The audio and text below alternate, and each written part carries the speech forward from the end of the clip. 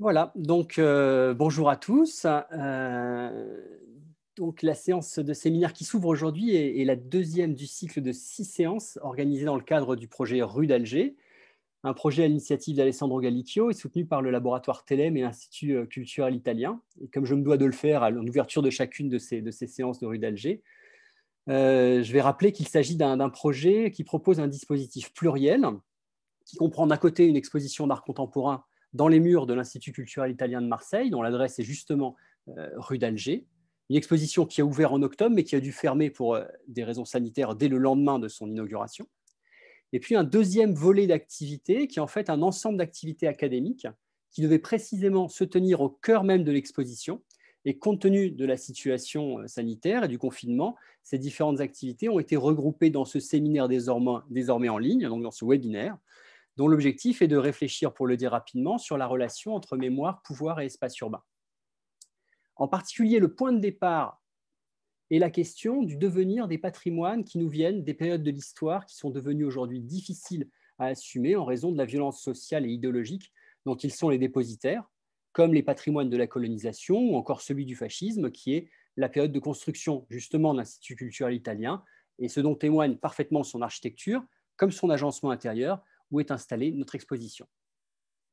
Mais globalement, l'un des axes de réflexion de ce projet est la manière dont la ville est un lieu privilégié de mise en scène du pouvoir. Et c'est dans cette perspective que la thématique de la journée, donc euh, mémoire et espace public, euh, concernera la place de la mémoire au sens large du terme dans ce processus de modelage, de formation, de façonnage par le, le pouvoir ou par les pouvoirs de l'espace public ce n'est pas une, petite question, euh, tant il est peu dire que parmi les différents éléments de mise en scène du pouvoir, l'histoire, le patrimoine sont des motifs réguliers, des motifs récurrents, des garants inépuisables de légitimité employés pour manifester l'emprise des puissants.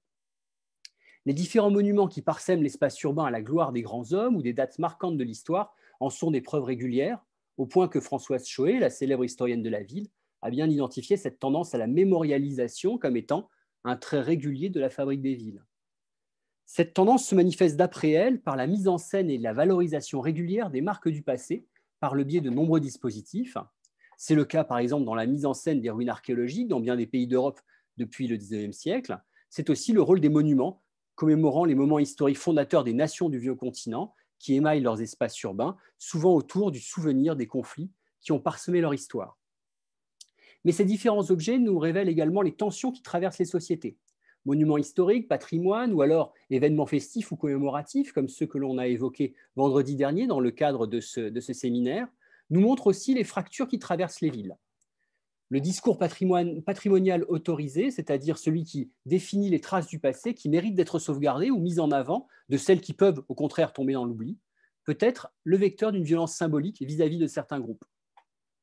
Cette violence symbolique peut être l'émanation d'une domination économique classique fondant l'organisation des rapports sociaux, telle que décrite par Pierre Bourdieu, mais ces usages peuvent aussi euh, produire de la violence politique, car ces patrimoines proposent bien souvent une relecture partiale du passé qui s'appuie toujours sur une version, disons la version du plus fort, qui laisse tomber dans l'ombre les histoires des autres, des vaincus, des perdants. Mais depuis plusieurs décennies, cependant, les évolutions des systèmes de pouvoir nés de la globalisation auraient permis l'émergence de sources de légitimité de plus en plus variées qui dépassent le seul cadre des États-nations. Ce dépassement se fait aussi bien par le haut, avec l'affirmation d'acteurs de dimension globale ou transnationale, comme les institutions internationales ou les pouvoirs supranationaux, mais ce dépassement se fait aussi par le bas, avec le renforcement de pouvoirs plus locaux ou d'échelles inférieures aux États-nations, groupements de citoyens, minorités religieuse ou linguistique, descendants de migrants, etc. Leur avènement serait facilité par des processus que l'on a coutume d'imputer au progrès des techniques de communication et de transport qui permettent désormais la mobilisation jusqu'alors difficile de groupes non soutenus par la puissance d'un État. L'émergence de ces pouvoirs minoritaires ou subalternes est bien documentée par les travaux des Cultural Studies à travers la figure des groupes transnationaux, des diasporas ou des identités subalternes dont la montée en puissance est l'un des éléments marquants de la fin du XXe siècle. Ces recompositions s'accompagnent de ce que l'on pourrait identifier comme une nouvelle soif de visibilité, manifestant un regain d'attachement à ces appartenances spécifiques et une intention de les faire entrer en tant que telles dans les récits collectifs. Elles procèdent d'un désir aujourd'hui bien documenté d'accéder à la reconnaissance, pour reprendre la, notion euh, parfois débattue d'Alex Honnête, c'est-à-dire au respect de ses propres spécificités dans le cadre commun. Et ces recompositions sont parfois aussi accompagnées de nouvelles revendications mémorielles qui visent à restaurer un passé traumatique, souvent lié aux violences des périodes précédentes, et qui contribuent également à la complexification contemporaine des géographies mentales comme matérielles, des mémoires comme des appartenances. Ce mouvement a conduit à une, indiscutable multiplication des modalités d'expression de la mémoire dans l'espace public, tant s'est accru le, nombre d'acteurs pouvant revendiquer aujourd'hui le droit d'y commémorer une mémoire particulière.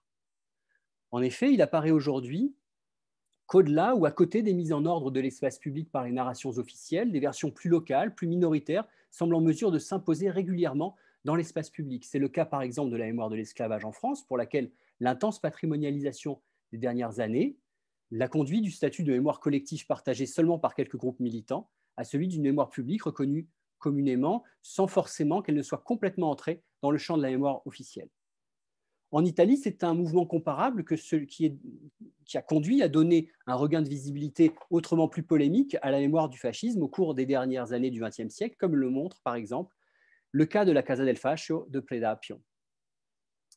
Ce retour de mémoire discrète, voire dissonante, difficile, longtemps négligé ou contesté, peut même en venir à disputer aujourd'hui l'usage ou le sens de certains espaces qui étaient alors euh, soumis à la lecture monovalente d'une histoire officielle. Euh, de nombreux, liens, de nombreux lieux pardon, semblent euh, en effet connaître une pluralité de regards sur leur passé. Ils se déclinent parfois sur un mode agonistique quand les pratiques mémorielles suscitent ou réactivent des tensions vives et qu'elles font l'objet de luttes pour la reconnaissance. Ces dissensions peuvent aussi marquer les territoires sous une forme plus ténue, plus discrète, coexister euh, plus discrètement avec les marqueurs officiels, juste pour témoigner de l'existence d'une contre-culture qui ne renonce pas à s'approprier certains lieux, malgré son caractère subalterne. C'est le cas de la pratique courante de rebaptiser les noms, les noms et les, de, rues ou de lieux à l'occasion de mouvements de contestation ou d'occupation euh, plus démonstratifs. C'est ainsi que dans toutes ces dimensions, ce, patrimoine dissonant, pour reprendre une expression aujourd'hui devenue euh, fameuse, est en position de se faire une nouvelle place dans les paysages urbains, mais aussi dans l'économie des villes contemporaines, à mesure que les autorités publiques y prêtent une plus grande attention et que les touristes s'y intéressent. Donc le panel de ce matin, qui est intitulé de manière un peu elliptique, elliptique, pardon, je vous l'accorde, décoloniser l'espace, vise précisément à aborder le processus que je viens de décrire. Son titre devait au départ porter un point d'interrogation, car il s'agissait, de répondre à l'une des questions du projet rue d'Alger, qui, en investissant un ancien lieu du fascisme, l'ex-Casa d'Italia de Marseille,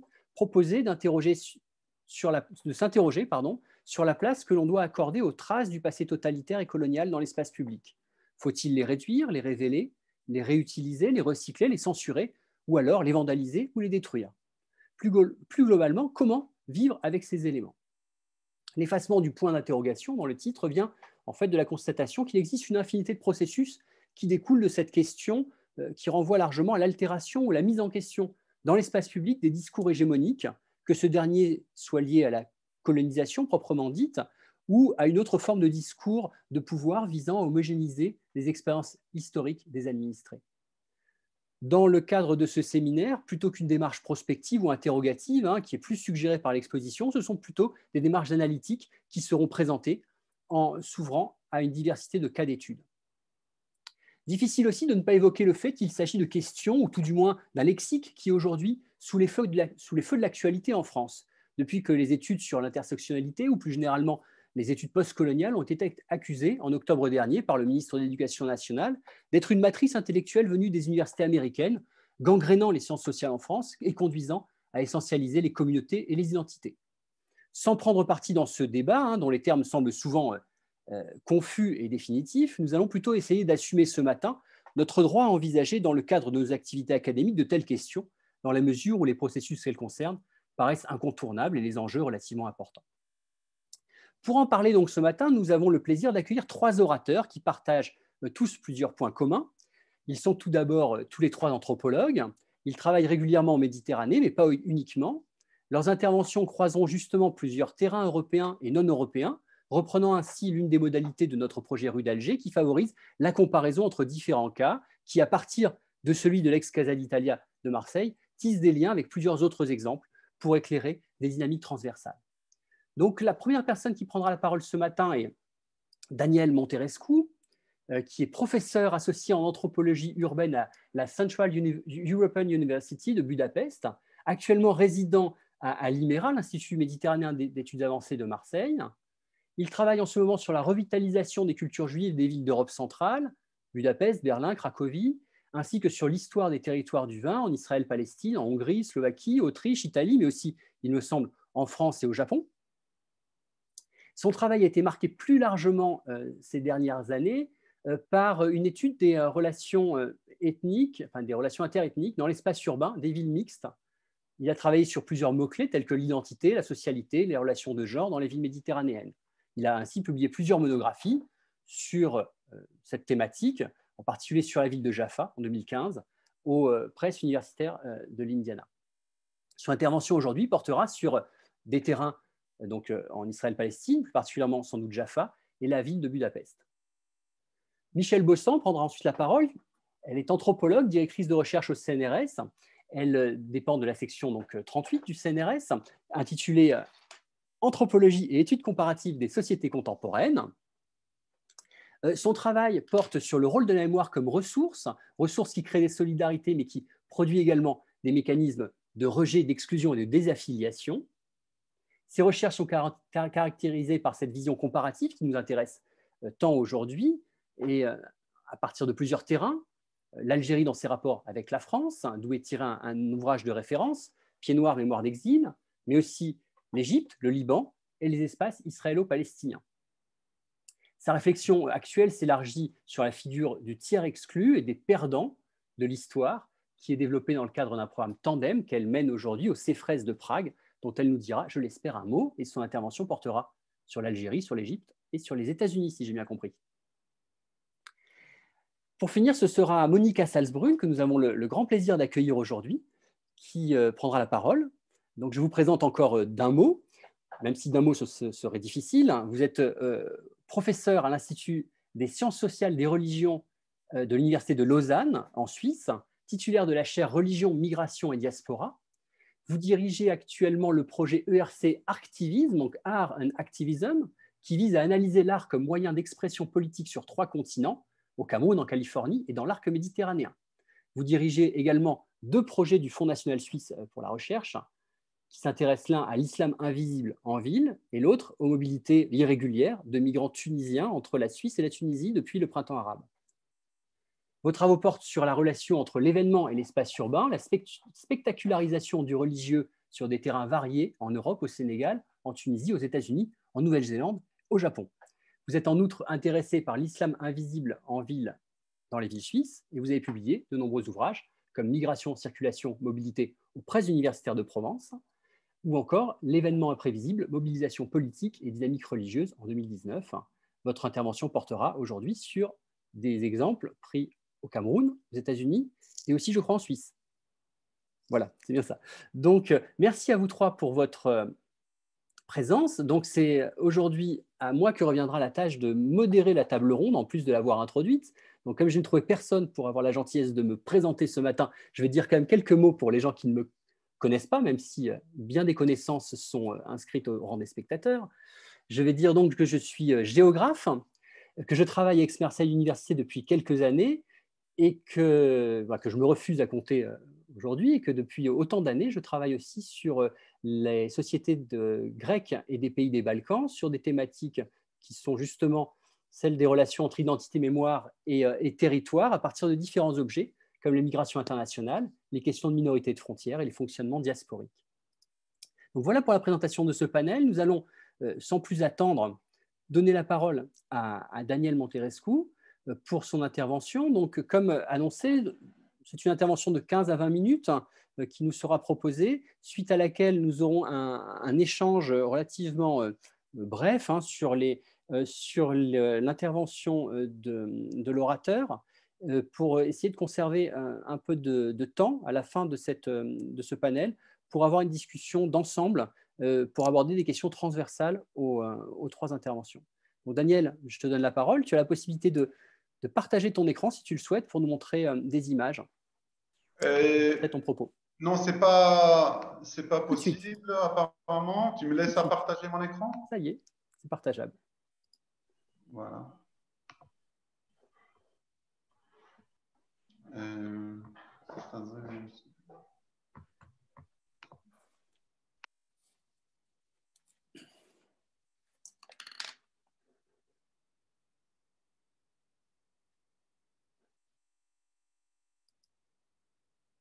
Tu dois réactiver ton micro aussi, hein. tu vas désactiver.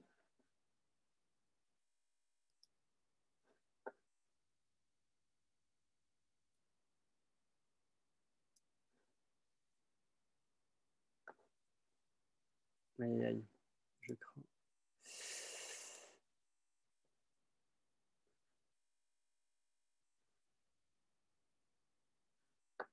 Daniel, il faut que tu réactives ton micro déjà pour qu'on t'entende. Voilà, très bien. Une minute, je cherche seulement le, le PowerPoint, alors une minute. tu peux ouvrir le PowerPoint, comme ça, quand tu vas faire le partage d'écran, c'est Zoom lui-même qui va t'indiquer quel, euh, quel logiciel euh, partager.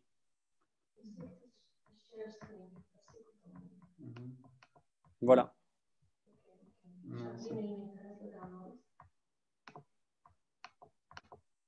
Voilà.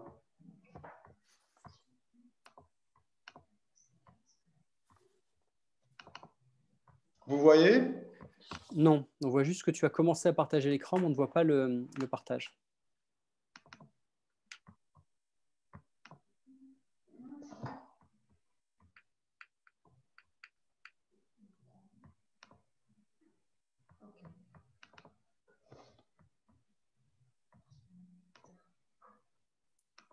Voilà, c'est bon C'est parfait. Tu peux passer en plein écran si tu veux.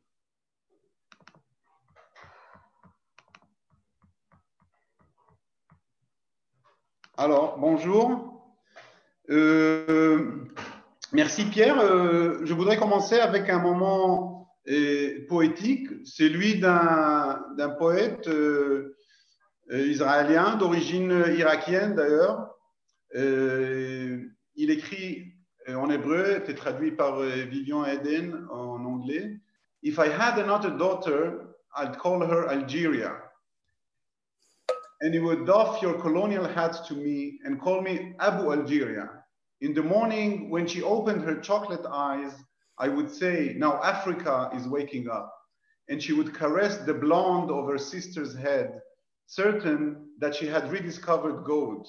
The grains on the seashore would be her sandbox, and in the footprints of the French who fled from there, she would hide the dates that dropped from the trees.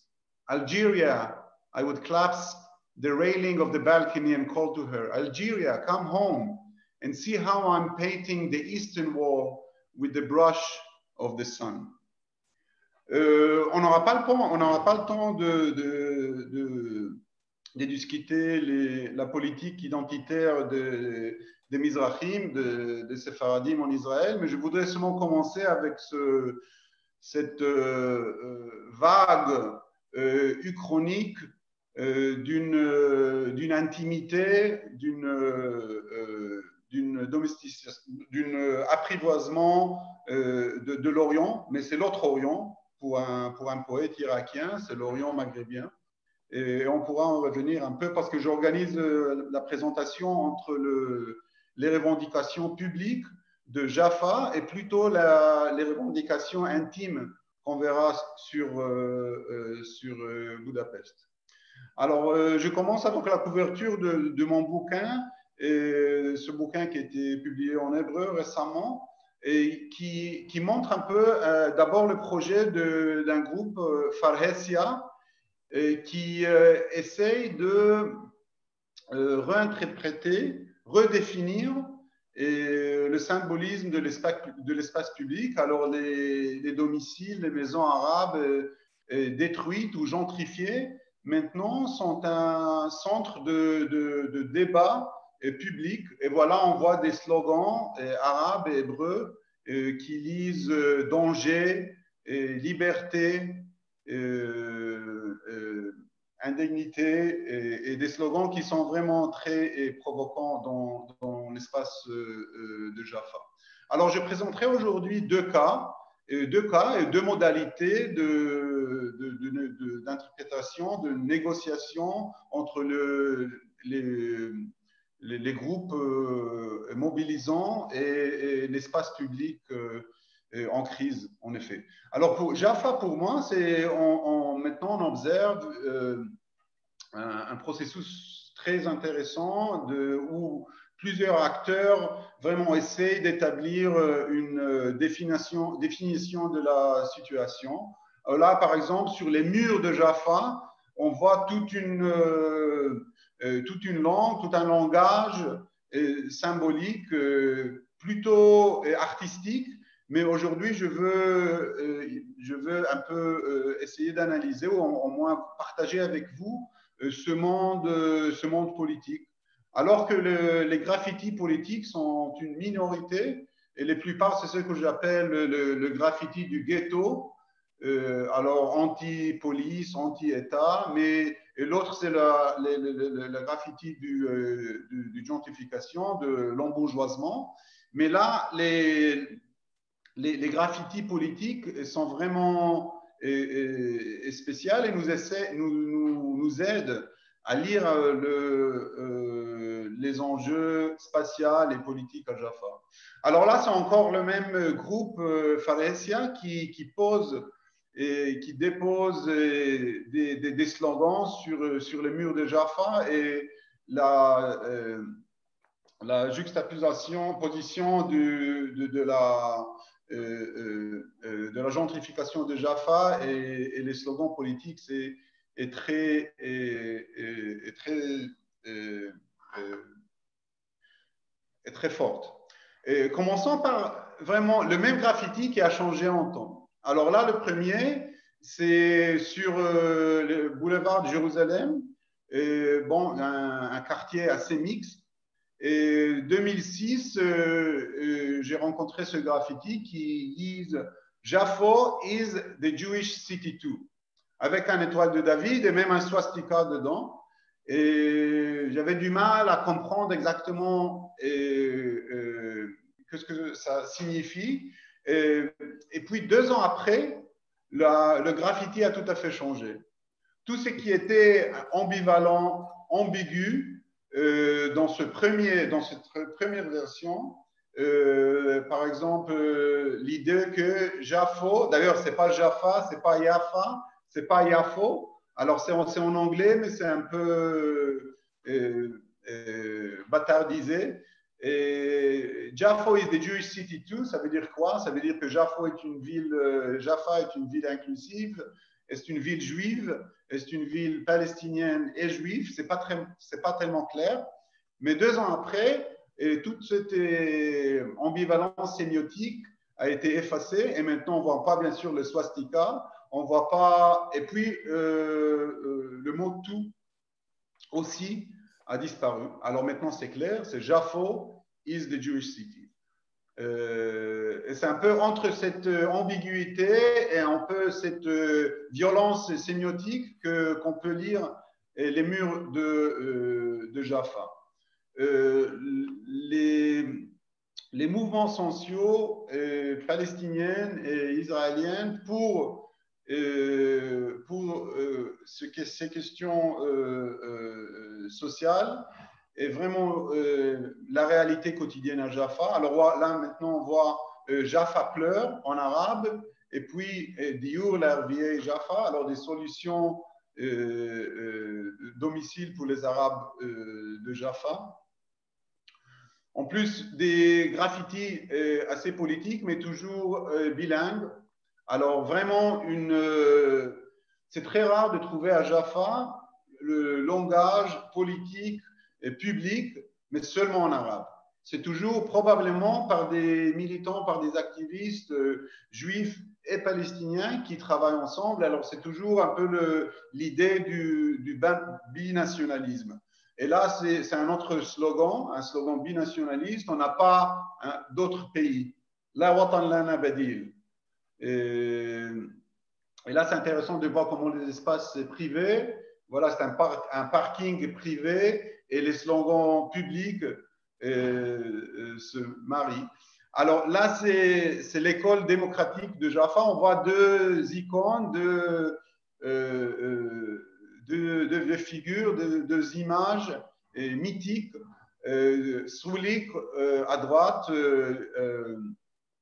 une figure du, sab, du Sabra, une figure du, du pionnier juif, euh, euh, l'essence de, l'israélité. Et puis à gauche, Hamdallah, euh, bon, la figure palestinienne par excellence, la figure d'un enfant réfugié qui tourne son dos au monde.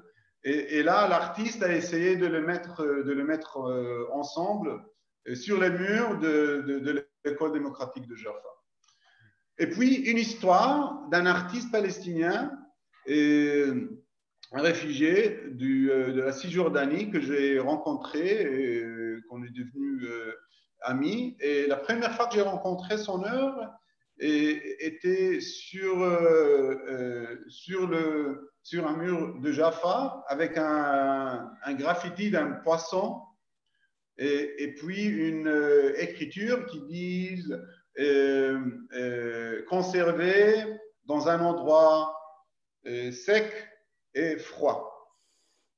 Et là, pour lui, c'est le symbole du déracinement du peuple palestinien. Et lui qui était d'origine de, l'Ida, alors pas loin, pas loin de la mer, voit dans ce poisson et, et désacrer le, le, symbole de la condition palestinienne. Et, là, c'est au centre de, Jaffa, au centre du, quartier hyper gentrifié de Rajami, 2015. Un an plus tard, la maison a pris feu et les pompiers ont fait un trou dans, au cœur euh, du, poisson pour entrer. Pour moi, c'est un peu aussi une euh, allégorie de, l'histoire palestinienne euh, de Jaffa, mais ça ne se termine pas. Alors la, vie sociale du poisson euh, continue. Et alors, après euh, l'incendie, les mêmes pompiers ont fermé la maison pour des raisons de, propriété, pour éviter le, squatting. Alors, on a maintenant une autre échelle, une autre feuille sur ce, sur, cette, euh, euh, euh, sur ce, ce, projet et qui devient maintenant aussi un, le, symbole du, de la propriété privée, mais aussi peut-être un, un, prison.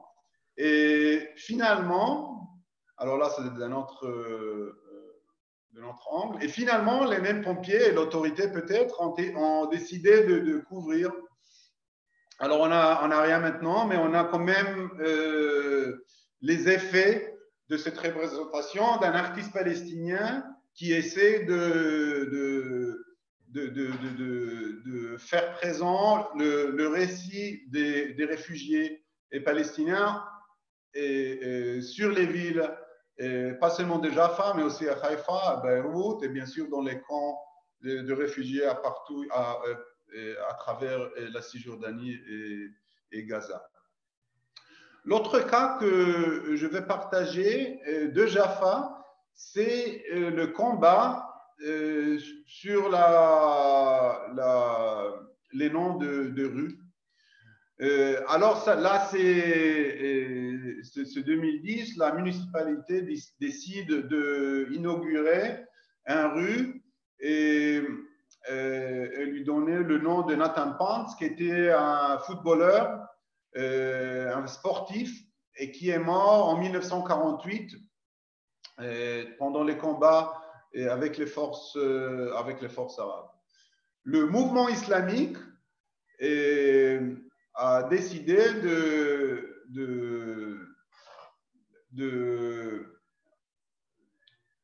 de donner ou de dialoguer peut-être avec la violence institutionnelle euh, de la municipalité, ajouter ce, ce verse euh, coranique, euh, là, on voit le statut de, Nathan Pence, de ce footballeur, encore sur, sur, sur Ajami, sur ce quartier qui est très gentrifié, où on voit des juifs qui arrivent, mais aussi une population palestinienne très importante. Le paradoxe, c'est que la population palestinienne, la population arabe, chrétienne et musulmane, à Jaffa, est forcée de vivre avec de noms de rues comme euh, Rabbi Breslav, le rabbin de Breslav. Et là, 2017, euh, le jour de l'indépendance, je vois que Jaffa, ces noms de rues sont, euh, sont couverts et maintenant bien sûr, les, activistes, les artivistes peut-être, ont décidé euh, qu'ils veulent résister cette hégémonie spatiale des, noms pris euh, de l'histoire zioniste et, juif euh, presque exclusivement. Alors, on voit d'autres exemples. Arabi Mibresla, vous pouvez lire peut-être. Et, puis le contraire des activistes, des Palestiniens, qui décident de renommer les rues de Jaffa. Alors là, c'est euh, d'ailleurs rue Victor Hugo, alors pas loin d'où je, moi je suis euh, né, mais les, activistes ont décidé de le renommer Share Nahda, la rue du renouveau nationaliste arabe. Ça n'a pas duré longtemps, mais, en même, mais au moins ça, ça a posé une alternative euh, et mémoriale pour, euh, pour une communauté qui essaie de définir son vocabulaire euh, politique. Et là, pour conclure avec le cas de Jaffa, je vais vous montrer un de mes graffitis, graffitis préférés. Là, c'est sur les murs d'un mosquée rénové par des associations euh, euh, musulmanes à Jaffa, un couple euh, palestinien, un couple mixte. Alors, Fouad, l'homme palestinien, et Osnat, la femme israélienne, décident de déclarer leur histoire d'amour sur les murs du, mosquée. Bien sûr, le lendemain, ça a été effacé. J'ai une belle photo des trois, trois taches trois taches blanches de où était Fouad euh, Lavosnat. Et, ça, nous, ça, nous, renvoie un peu au deuxième cas, le cas de Budapest, où euh, la, mémoire est plutôt euh, interprétée et plutôt fait public par des moyens intimes. Alors 2014, euh, euh, j'habitais à, Budapest. J'étais tout à fait étonné de trouver un étoile blanc sur euh, la porte de mon bâtiment. Comme vous savez, à Budapest, pour les Juifs de Budapest, c'est un peu étonnant. Mais j'ai découvert que apparemment, c'est pas une expression antisémite, mais au contraire, un projet de revendiquer la, mémoire juive de, euh, de, Budapest et plus précisément les, les maisons dites les maisons étoilées où en juin 1944, les Juifs de Budapest ont été concentrés et domicilés.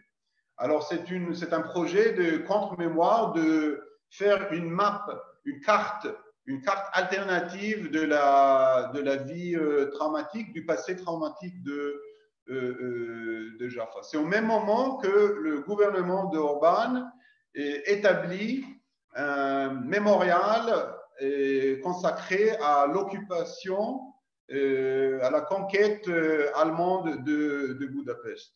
Et puis, un mouvement, un mouvement qui n'était pas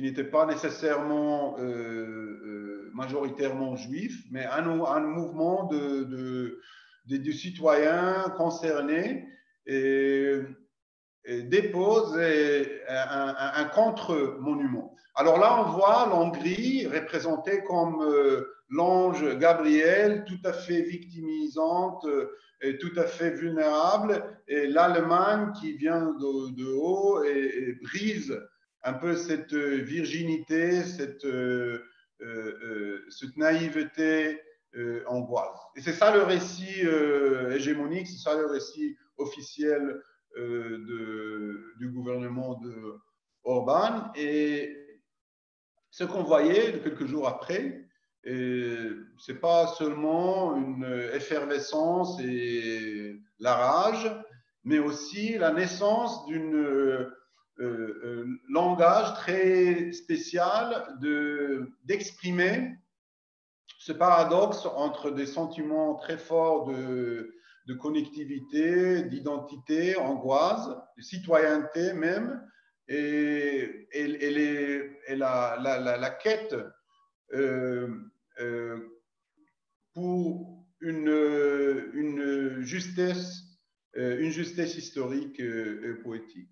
Alors on voit c'est plutôt, c'est pas vraiment les noms des rues, c'est pas vraiment des slogans politiques, c'est plutôt des histoires plurielles, très intimes, les noms, les, pierres, des chaises, et qui représente vraiment une euh, indignation très personnelle et, collective, mais aussi très brisée euh, contre, ce récit hégémonique euh, d'un gouvernement un peu apathique. Alors vous voyez un peu la spatialité aussi, l'esthétique de ces deux de ces deux rangs de, mémoire. Et puis, euh, émerge, on observe un mouvement intellectuel euh, sans manif, euh, avec des dizaines de, participants qui, chaque jour, maintenant chaque semaine, et six ans, sept ans après, encore continuent à délibérer, à discuter et bon, l'enjeu politique, et essayer de, de, de, prolonger euh, ce mouvement, euh, ce mouvement d'une résistance, mais qui est très timide, disons. Alors là, on voit des, pierres avec des noms, des noms des victimes de la Deuxième Guerre mondiale, et, du nazisme. Et, puis, ça devient aussi, c'est commodifié. Alors, ça devient aussi un, site, touristique.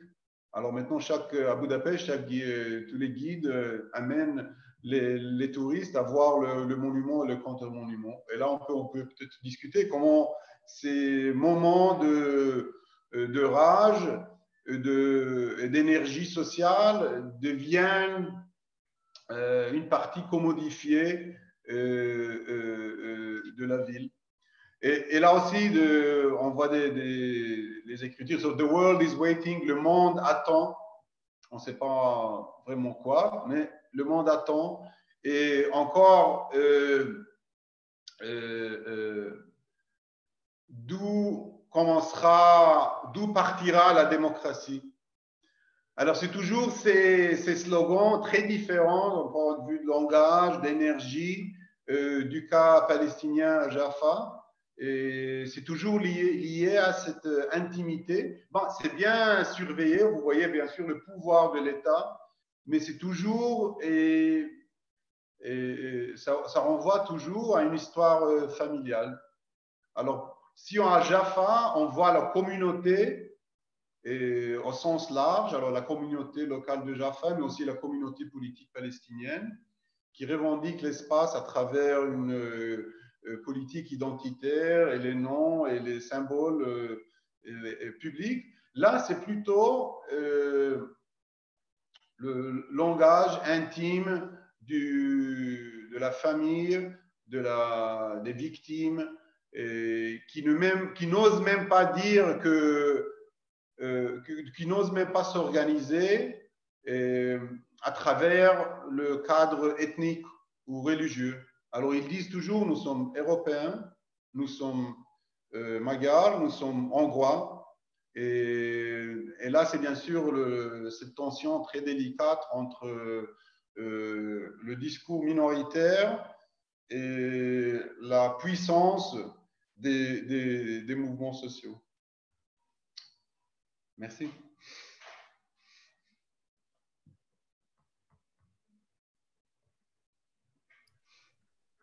Merci beaucoup, euh, Daniel, pour cette, euh, pour cette présentation, hein, ce croisement des, deux cas euh, israélo-palestiniens et, et, et, hongrois.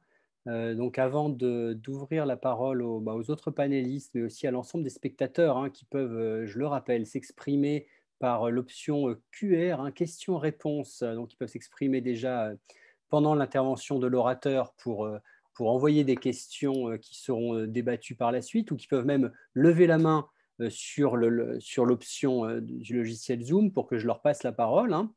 Euh, donc, avant d'en venir à, cette discussion un peu ouverte, moi, je vais, je vais, je vais, je vais me permettre hein, de profiter de mon rôle de modérateur pour, pour faire quelques, je dirais quelques remarques et surtout pour poser une, question à, Daniel. D'abord, bien entendu, quand on vient de la géographie et de la géopolitique, hein, le, cas israélo-palestinien est, et un, cas emblématique euh, assez régulièrement utilisé, mobilisé pour parler des conflits, en particulier des conflits en ville, hein, euh, en fonction des, en fonction des, cas. Euh, mais c'est vrai qu'on est dans une situation dans laquelle on a un espace, bon, comme d'autres espaces dans le monde, hein, mais qui est aussi quand même assez emblématique d'un espace qui, peut être saturé par des, par des récits, par des mémoires, des mémoires antagonistes. Et donc le, le, le conflit, le conflit géopolitique, le conflit politique, le, le conflit colonial, il est aussi assez régulièrement contenu dans ce, conflit de mémoire. Mais ce qui est intéressant dans, l'intervention que tu viens de, nous faire et qui tisse les liens avec ce, ce qu'on a vu à Budapest, c'est de voir ici des nouvelles modalités d'expression en quelque sorte de ce, conflit de mémoire à travers des, euh, éléments qui tiennent de, des mémoires intimes que tu as très bien évoquées, mais aussi à travers des éléments qu'on peut ranger dans une catégorie, euh, je dirais, plus, plus partageable, euh, qui renvoie à des, valeurs qui seraient des valeurs partagées internationalement autour, tu l'évoquais, hein, la ville inclusive, la ville cosmopolite, et qui donnerait peut-être un nouveau canal pour l'expression bah du dissensus ou pour l'expression des récits minoritaires. Hein. Euh, tu as d'abord, tu, as aussi évoqué hein, la, dimension, euh, la dimension touristique, par exemple, du petit mémorial que tu as, que tu as montré autour du monument de Budapest. Donc la question que moi je me pose dans tout ça, c'est de savoir est-ce que finalement c'est pas des, des, récits qui sont un peu, je dirais pas double tranchant, mais qui peuvent être euh, récupérés, utilisés par les, par les, les autorités en particulier les autorités municipales qui n'ont peut-être pas tout à fait euh, euh, les mêmes intérêts hein, dans les enjeux géopolitiques ou dans les enjeux de mémoire à l'échelle nationale. Euh, est-ce qu'une ville comme Budapest ou une ville comme Jaffa ne peuvent pas aussi tirer parti d'une certaine manière de cette image multiethnique qui est pourtant subversive à l'échelle nationale pour promouvoir l'image de leur ville l'étranger ou même à l'intérieur, à l'intérieur du pays, euh, dans, un, dans un but de valorisation, euh, d'attractivité ou de valorisation touristique. Oui, tout à fait. D'ailleurs, on m'a déjà contacté euh, la, la ville, la municipalité de Tel Aviv, de proposer un projet où, avec pour des rues, pas seulement bilingues, alors pas seulement en arabe mais en hébreu, mais aussi contiennent l'histoire des noms. Parce que les noms à Jaffa ont changé bon, de la période ottomane, puis à la période coloniale britannique, et puis euh, en nombre. Alors, il y avait une période où il était seulement des nombres, et puis euh, euh, la, période israélienne où ça continue à évoluer. Alors, on m'avait demandé de, de, proposer un projet où pour chaque rue, on aura cette dimension euh, plurielle de, l'histoire, cette profondeur de, l'histoire. Et ça, c'est bien sûr, ça fait partie d'une manipulation ou, euh, euh, au service de, l'image multiculturelle de la ville. mais, mais, là, par exemple, à Budapest, c'est impensable. Parce qu'à Budapest, euh, euh, ces boîtes de Pandora sont des bombes que, même la municipalité, qui est, qui est aujourd'hui euh, assez libérale, n'ose pas ouvrir. alors, c'est un peu paradoxal qu'à Jaffa, où là vraiment on voit la naissance d'un projet anticolonial de décoloniser la ville, qui est assez récent d'ailleurs. On voit aussi de l'autre côté cette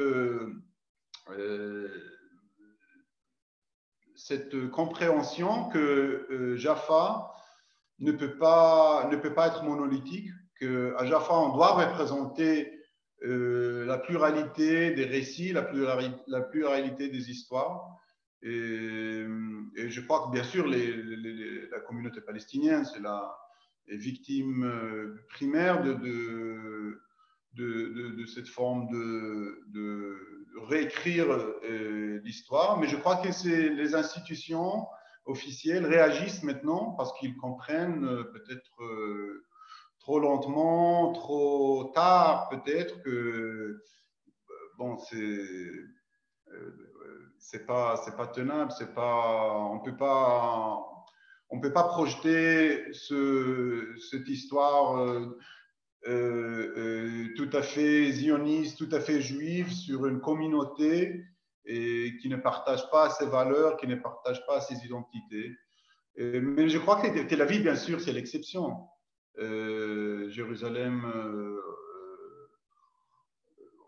Jérusalem, je ne crois pas que ça pourra marcher. Peut-être Haïfa. Alors on, pourra, pourrait comparer entre des, des, villes, des différentes villes, les différentes sensibilités, euh, ou une réécriture de, l'histoire et de la mémoire euh, pourrait être possible. Oui, réécriture ou domestication en quelque sorte.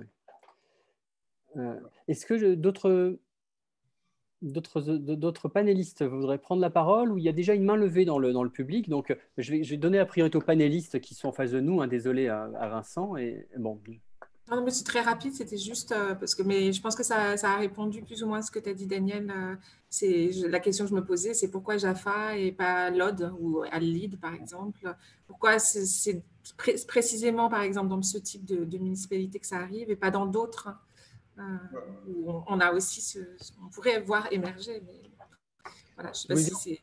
On prend peut-être plusieurs questions à la, suite pour pouvoir essayer de d'avancer aussi dans, le déroulement de la, de la, demi-journée. Je vais, je vais, ouvrir le micro de, de Vincent Mépoulet. Euh, c'est bon le son? Oui, c'est bon. oui, merci. C'était très, très riche et très intéressant cette intervention. moi, je voudrais intervenir uniquement sur Jaffa et notamment sur euh, les mentions par rapport à l'école démocratique de Jaffa parce que ces écoles qui sont, euh, où les parents d'élèves sont euh, soit euh, juifs israéliens, soit palestiniens de l'intérieur, elles sont, elles sont justement subversives en elles-mêmes, je trouve. Est-ce que quelque part, j'avais aussi visité à Jérusalem ou dans d'autres lieux tout le réseau des hand-in-hand schools qui, elles aussi, font ce pari de, d'amener les, les, parents à, à, ben, à, mettre leurs enfants, c'est un acte assez courageux, hein, on ne garde rien, dans, des, dans, ce type de structure parce qu'on connaît la ségrégation et la discrimination scolaire très forte qui existe en Israël. Je voulais savoir si à Jaffa, justement, par rapport à ce travail de mémoire de la ville, il y avait des activités à l'intérieur de ces écoles pour essayer de faire, euh, de, justement, de, de, de créer des conditions d'amélioration des relations. Parce que moi, la première fois que je suis allé à Jaffa, c'était très étonnant. J'étais à Tel Aviv, je dis, ah tiens, je vais me rendre à Jaffa. Le gars me dit, ah non, non, non, c'était sûrement il y a 20 ans. Hein. Il m'avait dit, ah non, non, c'est la ville des, Arabes, c'est dangereux, il ne faut, il faut pas y aller. Donc là aussi, il y a sûrement une évolution très forte que je n'ai pas pu suivre, comme vous, évidemment sur la façon dont, dont euh, le, la, cohabitation entre les, deux communautés se fait. Elle, peut se faire de façon hostile, mais elle peut se faire aussi de façon euh, peut-être avec des tentatives, en tout cas, de, de, conciliation de ces mémoires euh, conflictuelles. Est-ce est que donc l'école ou les écoles de ce type-là jouent un rôle là-dedans? Question d'enseignant. Donc, Alors, je laisse répondre assez, peut-être assez brièvement, oui. Alors, pour, ouais, alors pour, pour, une perspective euh, comparative entre les villes, bon, on peut créer un, un, spectrum analytique entre les villes mixtes en Israël. Et là, du côté du, du, fragmentation et segmentation, c'est l'IDA, où vraiment pour une société civile, pour les, mobilisations activistes, progressives, c'est très faible pour des raisons sociologiques qu'on ne pourrait pas élaborer. Et de l'autre côté, bon, avec Haïfa, avec une histoire de, disons, de, coexistence et de collaboration entre les différents euh, euh, euh, groupes politiques. Jaffa, c'est ce que j'appelle la périphérie du centre. Si Haïfa, c'est le centre de la périphérie, et c'est pour ça que c'est un projet d'embourgeoisement palestinien, Jaffa, c'est la, périphérie du centre. C'est pour ça que c'est un projet de gentrification, mais juive. Mais aussi euh, l'arrivée des étudiants palestiniens, des étudiants qui viennent vivre, à Tel Aviv et euh, vont à l'université de Tel Aviv, sont activistes, ils, font, sont des artistes. Alors Jaffa concentre un peu ses énergies et ces énergies euh, euh, qui, produisent euh, aussi un répertoire politique assez, spécial. Alors ça, c'est un peu pour ça, que qu'on ne peut pas voir sur Lida, Ramley, même pas Saint-Jean d'Acre, ces genres de, de négociations, ces genres de, de, de redéfinition de l'espace urbain. Et maintenant, avec, euh, avec une paradigme de, décolonisation, ça devient un peu plus, un peu plus clair pour, euh, pour la génération, la génération euh, millénaire, disons, et qui sont moins inclinés à s'organiser politiquement et à travers les, les, partis ou des, mouvements, mais plutôt à travers des, des guérillas, des actes guérilla art, euh, des, des, des, projets artivistes. Et, c'est un peu une, disons, une modalité un peu différente de, de, de, relire, de revendiquer la ville. Et, maintenant, pour, euh, pour, pour, les, pour les écoles, bien sûr. Alors d'abord, il faut différencier. Bon, d'abord, l'école démocratique, ce n'est pas vraiment une école mixte, c'est plutôt une école assez bourgeoise, 99 euh, des étudiants, je crois, sont, juifs. Euh, mais l'autre projet, vous avez raison, que des projets comme, euh, Yad Bead sont des projets assez radicaux, parce que pour eux, c'est un, une pédagogie, de liberté, mais c'est pédagogie aussi du, euh, du, du, bilinguisme euh, pour, euh, où les étudiants, en principe, et les enfants, ils, ils, ils poursuivent une, un, curriculum en arabe et en hébreu. Et là, c'est radical, c'est révolutionnaire, on peut même dire. Et à Jérusalem, ils ont été, bien sûr, ils ont été une des écoles a été brûlée à Jérusalem parce que bon, le slogan que, qui, a, été laissé après, c'était euh, euh, No coexistence with cancer. Alors, pas de coexistence avec le cancer. Et le, l'ethos, le, projet des, écoles bilingues est, considéré à Jérusalem comme un, comme un cancer. À Jaffa, c'est différent parce qu'à Jaffa, le paradoxe, c'est que la population, la population juive gentrifiante s'intéresse aux valeurs libérales de la coexistence, même, et, c'est eux, en effet, qui, ont poussé et qui, euh, euh, euh, qui, gèrent ce projet d'une éducation binationale et bilingue. Alors c'est ça un peu le paradoxe de le paradoxe d'une ville mixte où euh, euh, c'est en effet les, les settlers, les colons, les colons urbains euh, qui transforment d'une manière assez radicale l'espace. J'allais dire qu'il faudrait qu'on qu'on laisse la parole à, Michel pour aller pour passer à son, intervention, mais elle, vient juste de disparaître au même moment. La revoilà. voilà, Michel Bossan, si tu, si tu nous entends, Michel? J'étais déconnectée. Oui, oui, j'ai eu une petite inquiétude. C'était le moment où j'étais en train de te passer la parole. Il y a une pas très bonne connexion ici, donc du coup, euh, alors je vais peut-être partager l'écran. Merci beaucoup Daniel pour euh, toutes ces précisions. Euh, donc on, a, on va avoir le plaisir d'écouter Michel qui va être sur des, des cas peut-être plus, plus transnationaux pour le coup. Pardon? Voilà, voilà c'est bon, le partage fonctionne. Moi, je vais je vais aussi enlever ma vidéo pour euh, donner plus de... Ok. Euh, donc, dans, dans le, cadre de la présentation là, que je, vais vous faire, j'ai essayé de, réfléchir d'abord à ce que vous, pouvez bien vouloir dire euh, décoloniser l'espace. Et donc, je m'étais lancée dans une, petite réflexion que j'aurais sans doute pas le, temps de faire, mais en vous écoutant finalement, j'ai j'ai essayé de, je voudrais juste présenter euh, au fond, puisque le projet sur lequel je suis en train de travailler, qui est le fruit aussi euh, de, euh, de recherche dans, dans, différents espaces et sur différentes mémoires, qui sont toutes liées à la question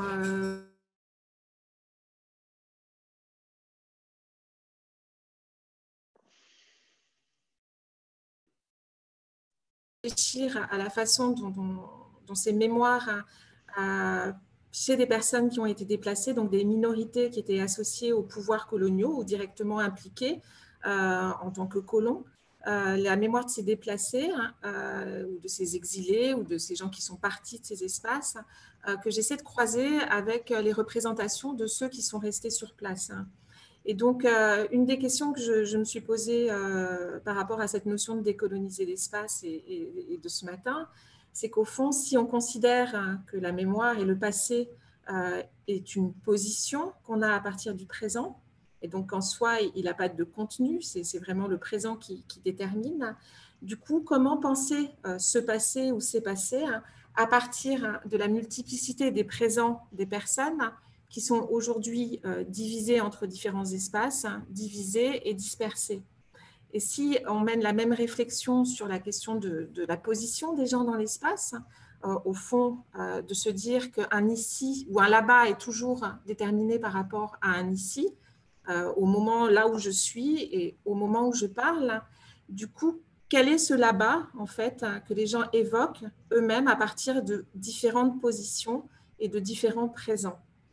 Euh, donc, c'est un peu les, questions que je, me pose dans le cadre de ce projet et euh, au fond euh, aussi sur la persistance des traces de ces passés coloniaux et, aussi de ces traces peut-être pas simplement en termes de ruines ou de ruination, comme selon les, termes de, de, Stoller qui, qui parlent au, fond des, effets négatifs sur les vies que continuent à avoir euh, les passés euh, coloniaux, mais aussi en termes d'essayer de, réfléchir comment ces traces peuvent aussi créer des liens entre les hommes, entre les biens, entre les langues, entre les représentations. Et donc, une autre question que je, me pose dans, ce cadre de, de, décoloniser, donc à partir de deux exemples que je vais vous présenter ici, que je maîtrise mieux, qui sont donc celui de l'Algérie et de la France, et euh, sinon de, l'Égypte. Euh, je me suis aussi posé la question de qu'est-ce qu'on doit faire de ce restant euh, qui fait à la fois lien et coupure et qui est représenté ou symbolisé par une relation que j'appellerais une relation chiasmique, qu'on voit très bien ici peut-être sur ces photos, mais qui est quelque chose qui revient très souvent dans les, les, entretiens que je peux avoir avec les personnes qui sont parties d'Algérie ou qui sont parties d'Égypte à savoir, hein, au fond, euh, l'image qu'il donne toujours hein, euh, de euh, l'Algérie, enfin des migrants qui quittent l'Algérie, disent on a quitté l'Algérie, et en même temps, l'Algérie nous a quittés. on a la même chose qu'on retrouve hein, chez les, Égyptiens, les exilés d'Égypte, qui disent qu'ils sont sortis d'Égypte et qu'en même temps, l'Égypte est sortie d'eux. Donc c'est une relation binaire, moi, le pays, réciproque, euh, avec deux pôles de la relation qui s'éloignent euh, l'un de l'autre ou sortent Hmm. l'un de l'autre au final et qui non seulement a lieu dans l'espace vécu, mais qui le détermine. Et donc, du coup, quelle est la nature de cet espace vécu Comment le restituer et comment perdure-t-il dans le présent? Donc, pour euh, travailler sur ces, ces questions-là, je, je- je suis partie de... Je, pars, je, prends différentes portes hein, euh, que je vais vous présenter euh, ce matin. Donc, ça, c'est aussi le, le départ d'Égypte. hein. Euh, parmi euh, ces différentes portes, au fond, et là, je m'aperçois que j'ai une... Alors, attendez, je vais essayer d'intervertir. Voilà. Euh, parmi ces différentes portes, en fait, euh, j'essaie de comprendre euh, notamment euh, quelles sont, au fond, euh, les mémoires hein, euh, qui sont restées, euh, disons, de la confrontation, en fait, euh, des mémoires des gens qui sont partis de ces espaces euh, et la façon euh, dont ils se souviennent euh, euh, de leurs espaces euh, matériels et sociaux, euh, ce qu'on pourrait appeler finalement la mémoire de l'habité. Là, je me réfère euh, à Lévinas et non pas à Heidegger. hein. Euh, et puis, euh, je m'intéresse aussi euh, à la façon euh, dont, notamment dans les voyages de retour, euh, les personnes peuvent être confrontées avec l'absence de mémoire, avec le silence, le rejet ou les propres souvenirs hein, qui sont parfois concordants, parfois dissonants, des personnes euh, qui vivent aujourd'hui dans ces différents espaces euh, où les déplacés, les exilés ont vécu et fréquenté, ce qu'on pourrait appeler au fond euh, l'inhabité de la mémoire. Et donc, euh, s'y dévoile euh, le fossé, mais aussi le croisement entre les traces persistantes euh, d'un passé comme sans histoire. C'est impossible de trouver une présentation de avant Pardon? Il y a quelqu'un qui parle. Et des histoires déplacées euh, de personnes sans trace. Donc les- ici, vous voyez par exemple, euh, c'est un, un- un voyage qui a eu lieu. C'est- J'ai suivi euh, de nombreux voyages de retour euh, des Juifs euh, en Égypte. Euh, et là, c'est le dernier voyage en date qui a eu lieu en février euh, 2020 euh, où on a eu euh, la redédication de la grande synagogue d'Alexandrie et donc euh, euh, des visites euh, diverses sur les lieux euh, qui sont devenus les lieux symboliques euh, de cette communauté juive. Euh, quand je dis devenus lieux symboliques, puisqu'en fait, aujourd'hui, la mémoire des lieux et euh, du passé euh, des Juifs d'Égypte se concentre essentiellement euh, dans ce qu'ils ont mis en avant ou construit aujourd'hui comme des symboles communs. Donc, ce sont essentiellement des lieux religieux, ce qui peut paraître étonnant dans la mesure où quand ils étaient en Égypte eux-mêmes, c'était une communauté qui était plus ou moins, enfin, plus, traditionnaliste et parfois assez peu observante. Et donc, du coup, euh, ce qui fait lien aujourd'hui, ce sont ces lieux, donc euh, cette synagogue, ces cimetières. Euh, on a ici aussi, en fait, au cours de ces, voyages, on a très souvent des initiatives individuelles qui visent en fait à retrouver les anciens espaces où les gens ont habité. Et donc là, j'ai suivi un monsieur qui, re qui recherchait sa maison et sa rue. Et euh, c'était assez euh, frappant, euh, notamment de, se rendre compte de la difficulté de, ce, de, cette, personne à retrouver des lieux qui ont tellement changé, qui se sont tellement transformés, mais qui en même temps gardent aussi des traces du passé qui lui permettent de se repérer, sans retrouver en fait tout à fait les, lieux où il a vécu. Et en fait, le besoin à chaque fois de recourir à des Égyptiens eux-mêmes. Donc ça, c'est le chauffeur de taxi avec qui on a, on a parcouru Alexandrie pendant, pendant plusieurs heures, mais aussi des habitants pour retrouver la mémoire des lieux et des espaces où ce monsieur euh, a vécu. Euh, donc lors de ce voyage aussi, voilà, on a aussi toute la question de la nomination des lieux euh, qui change. et donc, par exemple, ce lieu à Alexandrie qui était très connu dans la mémoire qui s'appelle le Trou du Diable, traduit en arabe. On a essayé de discuter pendant, pendant pas mal de temps avec le chauffeur. Et en, arabe, le nom est complètement différent. Et donc, ça a donné lieu à, tout un ensemble de malentendus. Et donc, voilà, c'est vraiment. Et, alors, ces, visites aussi, comme vous pouvez le voir, sont faites hein, et, et, posent question parce qu'elles sont faites euh, dans un cadre euh, très resserré et très contrôlé par euh, l'armée égyptienne. Et donc, pendant tout le voyage, nous avons été suivis. Alors là, ils ne sont pas cagoulés, mais par euh, aussi des voitures euh, avec des, gens de l'armée cagoulés. Et donc, ça, pose aussi euh, la question de, qu'est-ce que provoque aussi ce retour dans ces espaces de ces populations en groupe. Le, deuxième point que je voulais aborder très rapidement, c'est un autre une autre chose qui m'intéresse euh, dans cette question de, ces mémoires et de ces transpositions, de, de, ces traces du passé colonial qui perdurent euh, dans le présent et qui continuent à compter pour les individus, c'est encore une fois la façon dont, euh, plus spécifiquement, donc les personnes qui sont parties, par exemple, d'Égypte ou celles qui sont parties d'Algérie, ont transposé dans les espaces où elles se sont réinstallées des artefacts religieux, des traces euh, qui viennent leur rappeler en fait des espaces tiers d'une certaine façon. Ces espaces tiers étant euh, des espaces et des temps du passé qui n'existaient plus, qui n'existent plus, et qui leur rappellent en fait euh, les lieux où ils ont vécu, grandi et ils sont nés, où ils ont formé aussi, enfin des lieux aussi qui forment d'une certaine façon pour eux une sorte de patrie culturelle. Et ce qui est intéressant dans ces lieux, c'est qu'à chaque fois aussi, euh, il se sédimente avec d'autres lieux. Donc là, vous avez par exemple euh, le, sanctuaire euh, de Notre-Dame de Santa Cruz, qui est un sanctuaire en fait qui a été construit en Algérie au tout début de la période coloniale, mais sur un site et sur une histoire qui rappelait la présence espagnole antérieure de, de, de l'Espagne donc en Algérie avec euh, donc une colonisation ensuite française, mais qui est largement dominée par un courant euh, de migrants espagnols.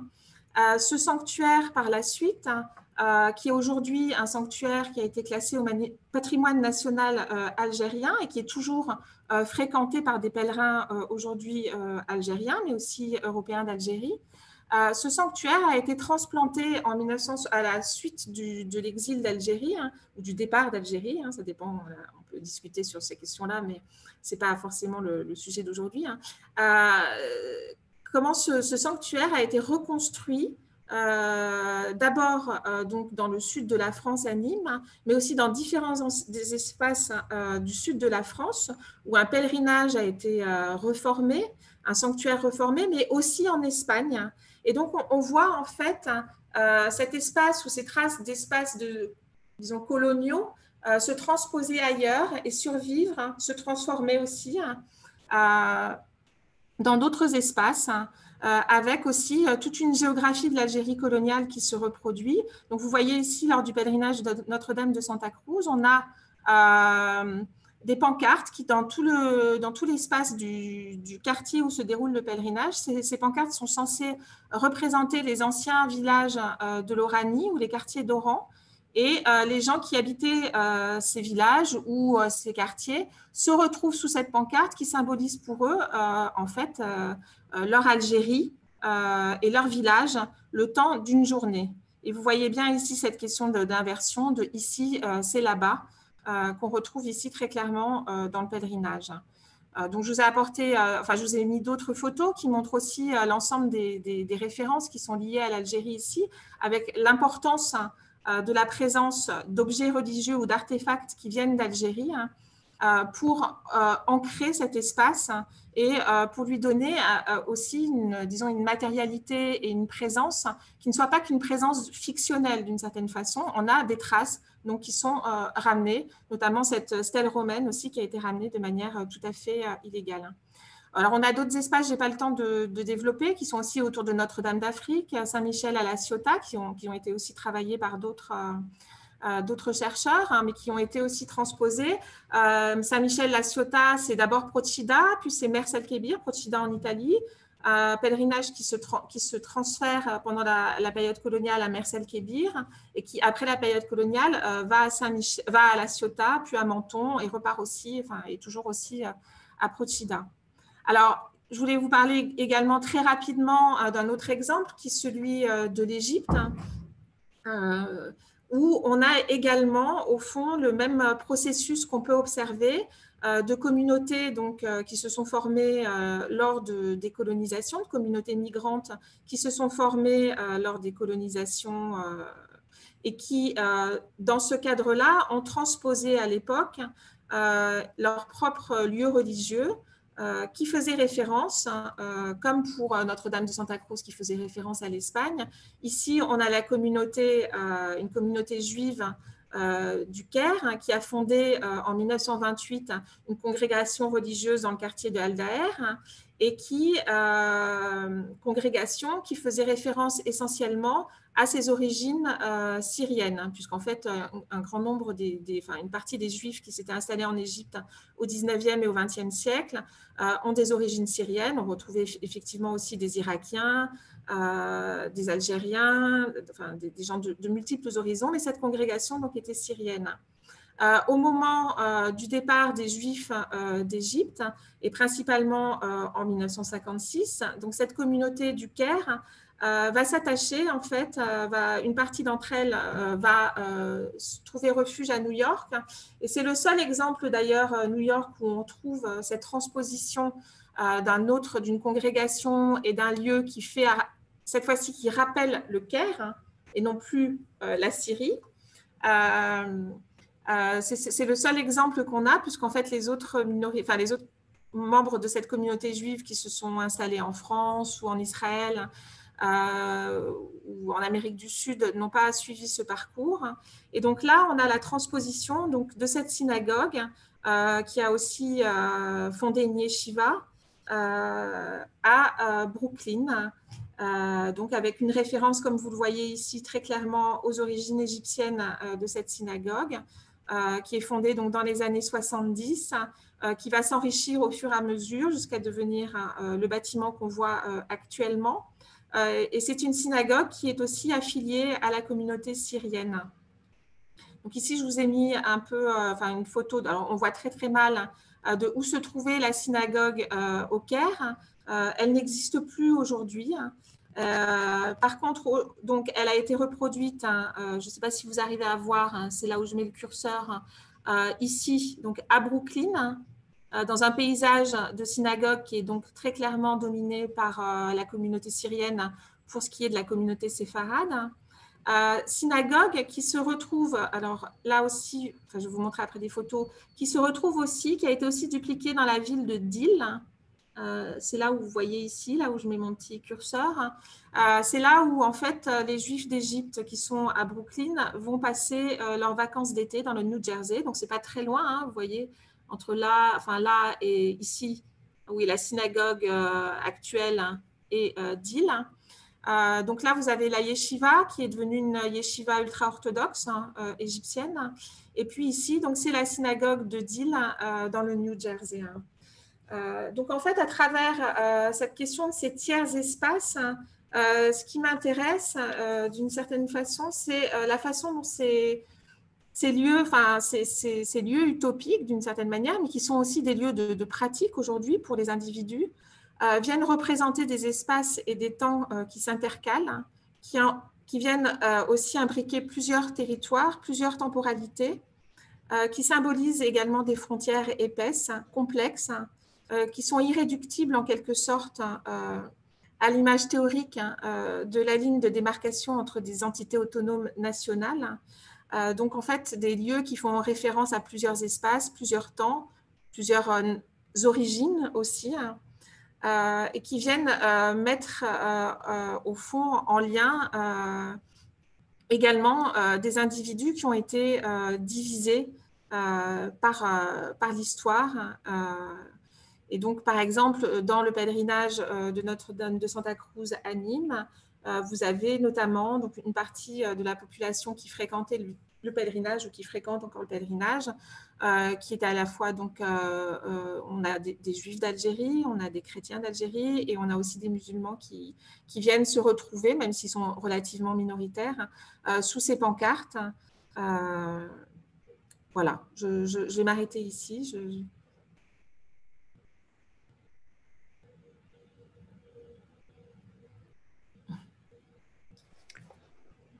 Merci beaucoup, Michel. Bah, finalement, la, connexion a tenu. Hein. Même si on était inquiet. Voilà. Merci pour cette, euh, bah, euh, cette, très belle intervention qui a justement permis de convoquer plusieurs cas autour de, questions qui sont des questions assez, assez importantes hein, dans, euh, justement dans, cette, dans ce rapport entre mémoire et, mémoire espace public, mémoire espace. Hein. Bon, je ne vais, pas, vais pas vous faire le complexe du géographe pendant toute la matinée, mais c'est vrai que qu'il s'agisse des, mémoires de l'habité, de cette question des retours, de la refondation des, espaces tiers, ce que je trouve vraiment très appréciable dans, dans, le propos que tu as tenu, c'est cette attention aux espaces et aux lieux. Hein. Et je m'interrogeais justement sur la, manière dont, dont ce, qui, ce, que, ce que tu, enfin, le rapport entre ce que tu décris, c'est-à-dire cette espèce de de, disjonction entre les, géographies imaginaires et puis les géographies, euh, les géographies réelles, elle n'est pas, euh, pas permise ou elle n'est pas favorisée par, de, par, des choses comme le, le, recours aux nouvelles technologies ou à de nouveaux supports. Hein. Qu'est-ce qui fait finalement que, que, que, que ces tiers-lieux que tu as évoqués se, fondent de manière efficace? Euh, et puis sinon, si ce n'est si ce euh, obligatoirement cet usage des nouvelles technologies ou des nouveaux supports, quels sont les, objets qui permettent de faire que, ici devient là-bas ou que ici soit là-bas? Voilà, c'est la, la, question que je voulais te poser. Après, peut-être qu'on peut prendre d'autres questions à la suite pour, pour permettre à, à, Michel de répondre.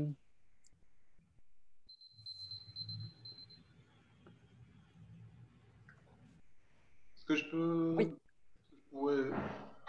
Bon, je m'intéresse au, discours euh, colonial de, ces, cette minoritaire et en exil. Alors, en, Égypte, est-ce qu'on voit euh, vraiment une euh, reconnaissance de,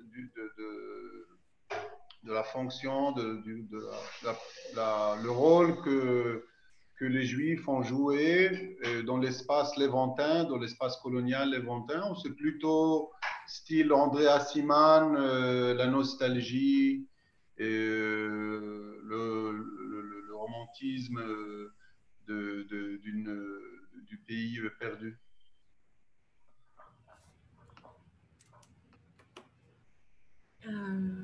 Tu veux dire les Égyptiens en Égypte, euh, en Égypte ou chez les minorités? Non, non c'est les Juifs euh, émigrés.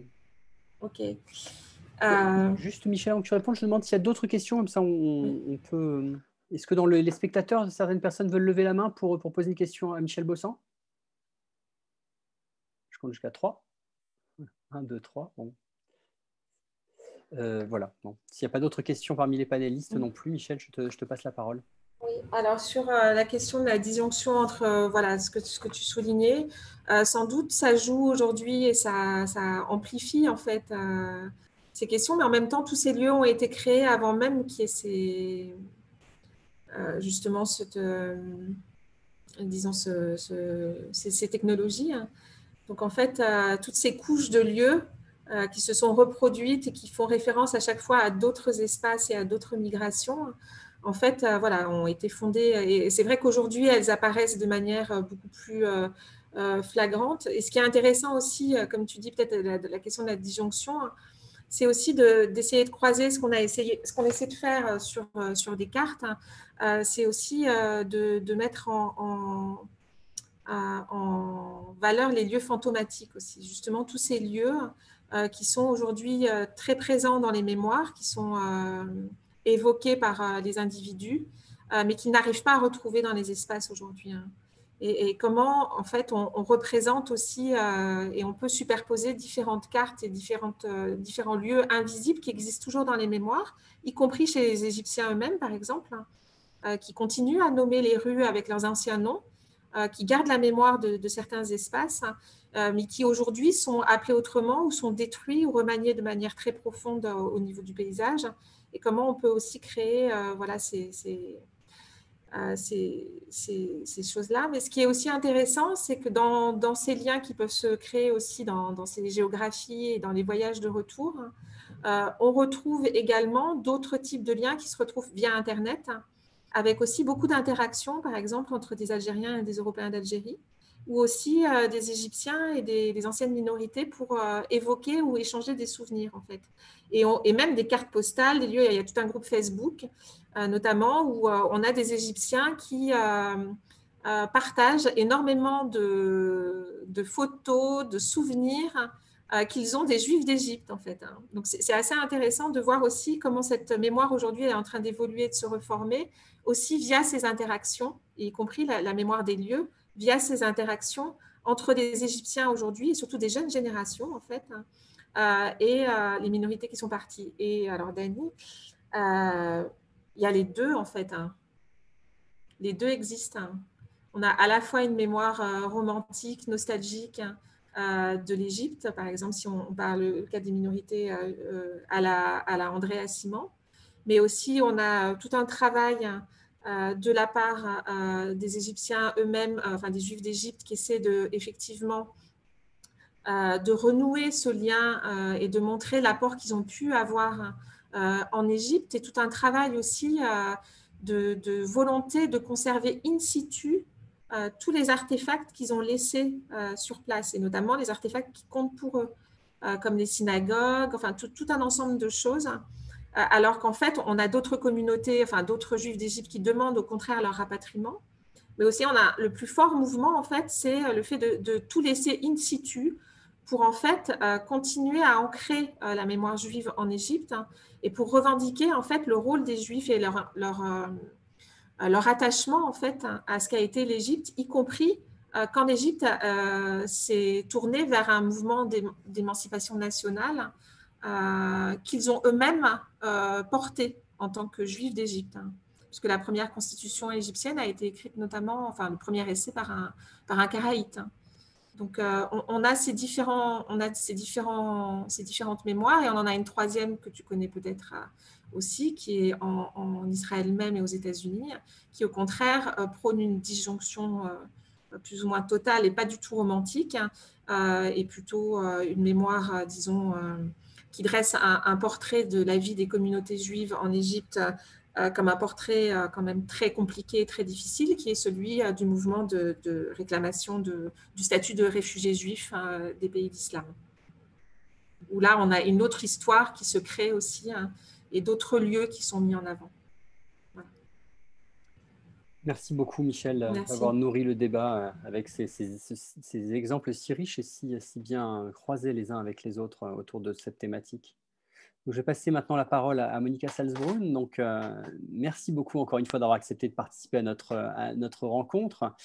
Donc, euh, dans votre, euh, comme vous avez vu, hein, les, interventions en fait sont passées d'études de, cas assez ancrées avec, avec, avec Daniel euh, Monterescu, puis il y a des choses plus, transnationales avec Michel Bossan. Là, avec Monica Salzbrunn, on va aborder euh, un, nouveau cas ou une nouvelle, nouvelle approche euh, avec une intervention plus, plus, plus régulière, une analyse plus, précise de l'intervention des artistes dans ces, ces problématiques. Donc, je, vous laisse la parole pour cette intervention. Merci euh, beaucoup, euh, Pierre. Euh, merci aux collègues aussi pour les interventions absolument passionnantes. Je, suis très heureuse de faire partie de, cette aventure parce que j'ai trouvé aussi très, très inspirante en fait les, journées précédentes et, j'ai vraiment grand plaisir à partager avec vous des résultats de différents projets de recherche, dont notamment le projet Artivisme, qui en fait sont assez révélatrices de, de, ces luttes pour, pour des mémoires euh, euh, diverses et, variées, voire multiples, comme l'a dit Samia Chabani dans, son intervention. Je vous partage mon écran pour que vous voyez en fait quelques exemples.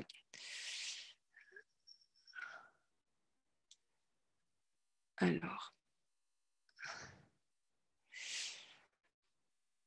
Alors, je, en sciences sociales, on est, on est, rarement seul, donc je voudrais aussi euh, mentionner les, membres de mon équipe. Donc, Rafaela von Weix, euh, euh, chercheuse senior, qui, travaille surtout sur le Cameroun, Federica Moretti, doctorante qui travaille surtout en, France, et Sarah Widerker qui travaille sur la, la, Californie. Alors, quand on parle de, cet imaginaire de, la décolonisation et, des colons, évidemment, on trouve de nombreux exemples euh, dans différents pays, dans des pays qui n'ont jamais eu de colonie. Donc, je, je vais peut-être un peu l'historique afin que vous sachiez comment nous sommes arrivés à ce projet Artivisme. Euh, d'abord, en fait, euh, j'ai mené, deux projets financés par le Fonds national suisse, dont un sur la mobilité non documentée avec Farida Soya et Simon Mastrangelo, et qui portait plus précisément sur les représentations de l'Europe des Haraga, donc des jeunes hommes qui, qui voulaient brûler leurs papiers au sens propre et au sens figuré du terme. Et nous nous sommes penchés en fait surtout sur des chansons, sur des textes, de, des paroles de, de, chansons, mais aussi sur des créations multimédia publiées sur Facebook et sur les représentations de l'Europe dans l'espace public. un des résultats, en fait, était une forte ambiguïté entre à la fois, évidemment, une mise en question et un rejet des liens postcoloniaux avec la France et en même temps une forme de fantasme des des pouvoirs en fait euh, ou du potentiel économique, euh, notamment euh, de la France et de l'Italie. Et dans l'espace public, en fait, en Tunisie, on trouve de, nombreux, nombreuses dérisions en fait ou dérivations ou des détournements d'objets dans l'espace public. Donc, vous avez des panneaux de, de rue dans lesquels vous avez tout d'un coup une flèche qui montre vers l'Italie. et l'autre qui montre vers, vers Tunis ou vers Zarzis. Donc, il y, a, une forme d'appropriation aussi du mobilier urbain. Vous avez des cafés qui portent le nom de Lampedusa, vous avez des cafés qui, portent le nom de, Rome ou de Lausanne. Donc il y a une forme d'ancrage en fait du désir de partir dans, dans l'espace public, euh, avec une grande clairvoyance aussi de savoir que ce qu'on va trouver de l'autre côté de la Méditerranée, évidemment, euh, euh, n'est pas le paradis du tout, mais n'est qu'une issue parmi, parmi d'autres de, la misère en fait sociale que vivent ces, ces, jeunes hommes. Donc on a une, représentation assez ambiguë de, cette présence européenne dans, l'espace public tunisien. Et dans le deuxième projet, en fait, que Pierre avait la gentillesse de citer, qui, porte sur l'islam invisible en ville, que j'ai mené avec Talia Bachir Lopuit et Barbara Delvaux, dans l'arc lémanique, donc côté France, côté Suisse, nous nous sommes penchés en fait sur les différentes matérialisations et manifestations symboliques des appartenances multiples dans l'espace public, et notamment euh, aussi le, rapport en fait de, ce pays euh, euh, qui a notamment la Suisse, qui, a eu une logique coloniale sans avoir eu des colonies au sens propre du terme. Donc, je ne sais pas si vous étiez conscient du fait que le, le grand héros suisse fondateur de la Croix-Rouge, Henri Dunant, avait une colonie, euh, enfin un comptoir. Il fondait un comptoir euh, suisse à, Sétif, en Algérie, euh, donc avec 30 000 Suisses qui étaient présents en, Algérie, qui ont évidemment profité aussi du commerce colonial mais ce sont des parties très invisibles de l'histoire suisse en fait qui font émerger qui émerge seulement depuis une dizaine d'années. Et, donc, la, lutte autour de la décolonisation des noms de rue, par exemple, euh, euh, ne fait que commencer. Et des, revendications, en fait, autour d'une mise en question de ces traces dans, l'espace public est, relativement récente. Mais ce qu'on retient, en fait, ce que je retiens de, ces deux projets, c'est aussi un intérêt pour la la performance des mémoires dans l'espace public. Donc, il y a à la fois des revendications euh, qui passent par le discours, qui passent par des, performances artistiques euh, et qui, s'ancrent de façon visible ou éphémère dans, l'espace.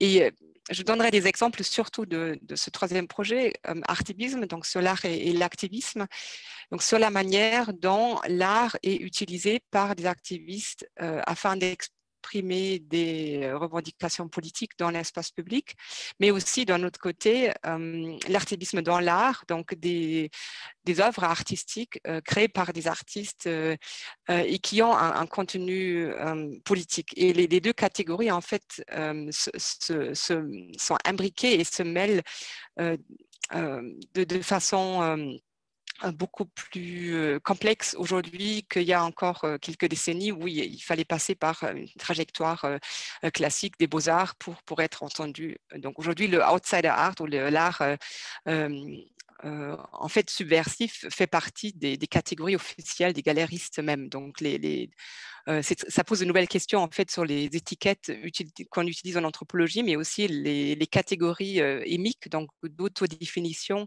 des personnes avec lesquelles on, travaille. Hum, alors, je commence. alors, juste pour, vous dire, en fait, on, travaille sur différentes formes d'expression artistique.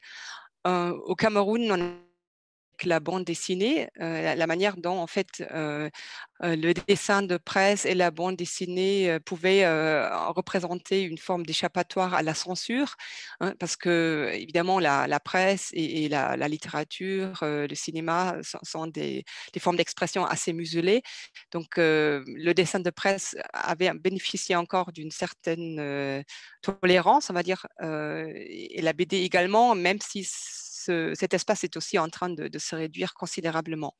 Euh, mais euh, au Cameroun, on a évidemment aussi découvert d'autres formes euh, artistiques, la performance, la sculpture dans l'espace urbain, une forme de visiter ou de faire visiter l'espace en, en créant un parcours à travers les traces qu'a laissé la colonisation au, Cameroun, qui sont des initiatives récentes. aux États-Unis, nous nous penchons sur l'art mural latino-américain. donc, je vous donnerai aussi un exemple d'une façon de réécrire l'histoire globale, pas seulement l'histoire de la Californie, mais aussi l'histoire globale en Californie. Et en Méditerranée, avec Frédéric Amoretti, en fait, je, me suis penchée sur, plutôt des actes performatifs, la, performance notamment aussi de la performance carnavalesque, la de le détournement dans l'espace public méditerranéen, mais qui fait évidemment aussi écho aux rapports postcoloniaux qu'on trouve entre différents pays. Mais je vais d'abord vous amener au, Cameroun, notamment à, Douala, parce que l'année dernière, en fait, je suis allée à, Douala et, afin de savoir en fait comment des, intellectuels camerounais impliqués dans, dans l'art présentent leur ville. J'ai participé en fait à, une visite de la ville pour voir en fait comment les traces de l'histoire coloniale étaient, étaient évoquées dans l'espace urbain. et cette cette initiative, en fait, de, présenter la ville sous un autre angle a été euh, euh, créée par l'association Doual Art. Doual Art euh, a été fondée en, en 91 à Douala comme, comme un espace, en fait, de la artistique camerounaise, mais aussi pour en fait déployer des, différentes façons de sensibiliser la, population, mais aussi des, visiteurs à la présence de, des différentes puissances coloniales dans l'espace public et des réactions artistiques face à cette présence coloniale. Donc, ce que nous avons ici, c'est une œuvre qui s'appelle Station de la mémoire, faite par Justin en 2017 et qui a été créé dans le cadre du Festival Sud organisé par Douala Art donc il y a trois ans.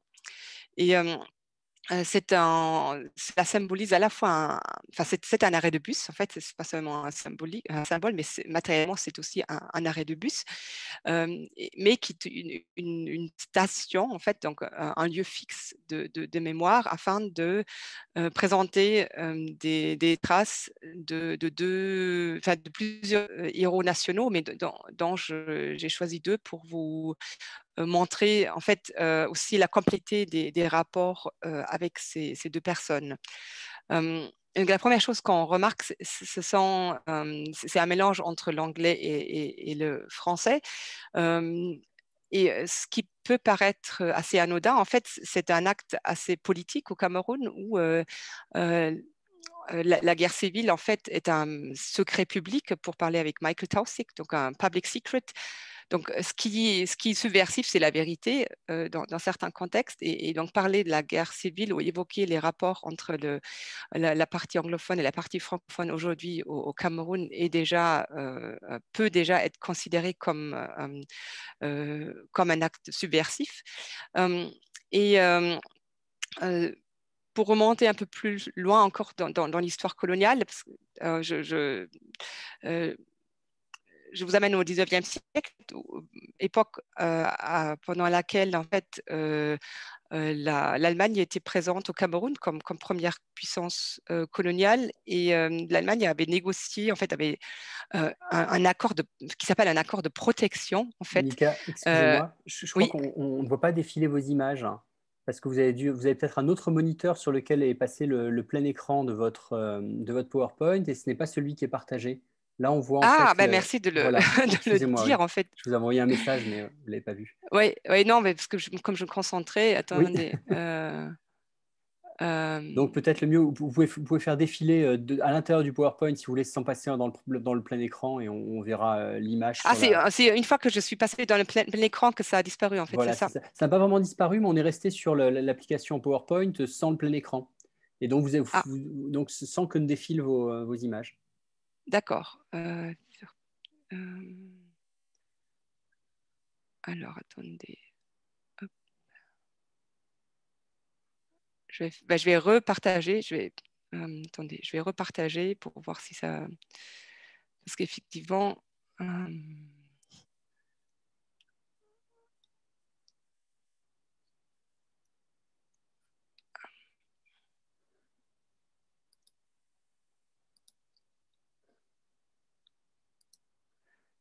Donc, est-ce que maintenant vous voyez l'écran? Là, ce qu'on voit, c'est le voilà, c'est encore l'application PowerPoint. On ne voit pas le plein écran. Je ne sais pas si vous êtes déjà en plein écran ou pas. Mais en fait, tout à l'heure, j'avais commencé exactement de cette façon. Je vais me remettre en, plein écran pour voir si ça. Ce que ça donne. Est-ce que maintenant vous voyez le plein écran? Non, non, on voit, on voit toujours le PowerPoint. Le mieux, c'est peut-être que vous restiez sur le PowerPoint et que vous fassiez défiler dans le menu qui est à gauche hein, de l'écran. Oui, alors désolé euh, pour, euh, pour ça, j'agrandis en fait l'application. Donc, voilà. Ok, bon, ben, euh, euh, on va poursuivre. Donc, vous n'avez pas vu euh, ces, images-là jusqu'à présent? Voilà, c'est ça, voilà. On n'a pas vu. Ok, bon. Bon, en tout cas, j'avais tenu à, citer mes, mes, collaboratrices et collaborateurs, mais je, je l'ai fait oralement. Donc là, vous voyez comment euh, vous voyez encore un rappel de, ce que j'ai dit euh, tout à l'heure sur euh, en fait la généalogie de, ce cheminement intellectuel qui, m'a amené à la réflexion sur, l'art et l'activisme. Et la première image concerne la, station de la mémoire de Justin Ebanda et sur la, qui se trouve donc dans la partie est, assez derrière l'aéroport. et sur la gauche, en fait, vous voyez une forme de silhouette. donc, c'est la silhouette du, roi Mangabel, qui est le roi du peuple de Douala, qui qui est le petit-fils du roi qui a négocié avec le pouvoir allemand le, soi-disant accord de protection, comme on l'appelait évidemment cyniquement à, l'époque. Mais ce roi avait des, rapports plutôt paisibles avec certains gouverneurs allemands jusqu'à ce qu'il y ait une forme de, dépérissement des, rapports et une et les premiers crimes en fait coloniaux, les premiers déplacements de la population, notamment de la population des, Douala, par un autre gouverneur beaucoup plus brutal et qui a aussi commis des, crimes de guerre. Donc, euh, donc Mangabel est intervenu puisqu'il a vécu en Allemagne, il, avait des, connaissances linguistiques euh, euh, qui lui permettaient aussi de s'adresser directement au, pouvoir et à essayer de, plaider en faveur de, la cause du peuple douala et pour dénoncer les crimes commis par, par la, puissance coloniale. il y a eu un débat aussi très controversé en fait où August Bebel d'ailleurs a, plaidé euh, aussi, a dénoncé également ces, crimes de ses compatriotes. Euh, mais cette, demande n'a pas été entendue et, et, Mangabel a été pendu en fait en 1914 par les Allemands et cette station de la mémoire en fait a été érigé aussi afin de perpétuer la, mémoire de ce héros national. Regarde de l'autre côté, en fait, de, de, cette station de la mémoire, on, a une, on a également un, portrait, en fait, une, une silhouette d'Umniobé donc là, on, saute un demi-siècle plus tard, on, est en 1958, et Omniobé est un, homme politique camerounais qui était un des premiers en fait à, revendiquer l'indépendance et qui, a, qui a été isolé, désarmé et qui a été finalement assassiné. Donc, Omniobé est aujourd'hui, tout comme, comme Mangabel, sont peut-être les deux personnages de la résistance les, plus souvent invoqués. pas plus tard qu'il y a quelques semaines, quand il y a eu des, arrestations arbitraires effectuées par la police camerounaise, Omniobé a été invoqué en fait comme modèle pour la résistance afin de donner espoir et, l'énergie en fait de, tenir le coup aux, aux, personnes qui ont été arbitrairement arrêtées.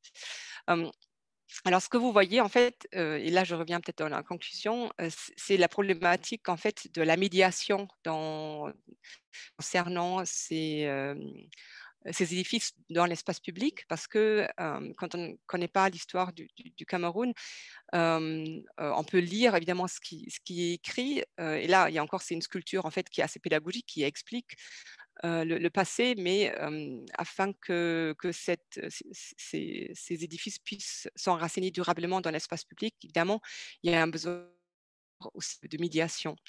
Alors, un deuxième artiste contemporain dont je voudrais vous parler, c'est André Blaise et Sama. donc, lui, il, a plusieurs, plusieurs moyens en fait de, réécrire l'histoire du, Cameroun. premièrement, en fait, il mène plusieurs interventions sur des monuments dans l'espace public. Donc, il, grimpe sur les monuments et puis il, fait face en fait aux, militaires qui sont exposés. enfin militaires français, bien entendu, sur ces monuments, ou alors, de façon plus radicale, il intervient directement et change la matérialité de, ces monuments. Donc, il a, il a décapité cette fois euh, la tête de Leclerc, enfin, il a décapité Leclerc, le général Leclerc, euh, à cette reprise. Euh, également à, Douala afin de, protester contre la, présence de, de, Leclerc dans l'espace public camerounais. Et il, il, est aussi sculpteur, donc il, il, a fait plusieurs propositions afin de remplacer des généraux français par des héros de l'indépendance la, camerounaise dans, l'espace public. Et la lenteur avec laquelle ces négociations se déroulent est aussi révélateur en fait de l'ambiguïté des, rapports entre le, Cameroun et, la France parce que, évidemment, ce n'est pas si simple. On ne peut pas analyser les, discours uniquement en termes nationaux. Il y a, aussi une forte ambiguïté de la classe politique dirigeante. Et, le rapport à la France-Afrique, évidemment, est extrêmement complexe et, mérite en fait d'être approfondi. Chose qu'on peut difficilement faire en, en, 15 minutes. Mais je, tiens à souligner justement que les rapports que quand les Camerounais face à l'histoire, évidemment, n'est pas si simple. Et le rapport par rapport aux, trois puissances coloniales, la France, l'Allemagne et la, Grande-Bretagne, est aussi euh, très ambigu euh, et, il ne peut pas être dépeint uniquement en, noir euh, et en blanc. mais André Blaise Essema est un personnage intéressant parce qu'il justement il, se penche sur cette ambiguïté et puis il, il a un discours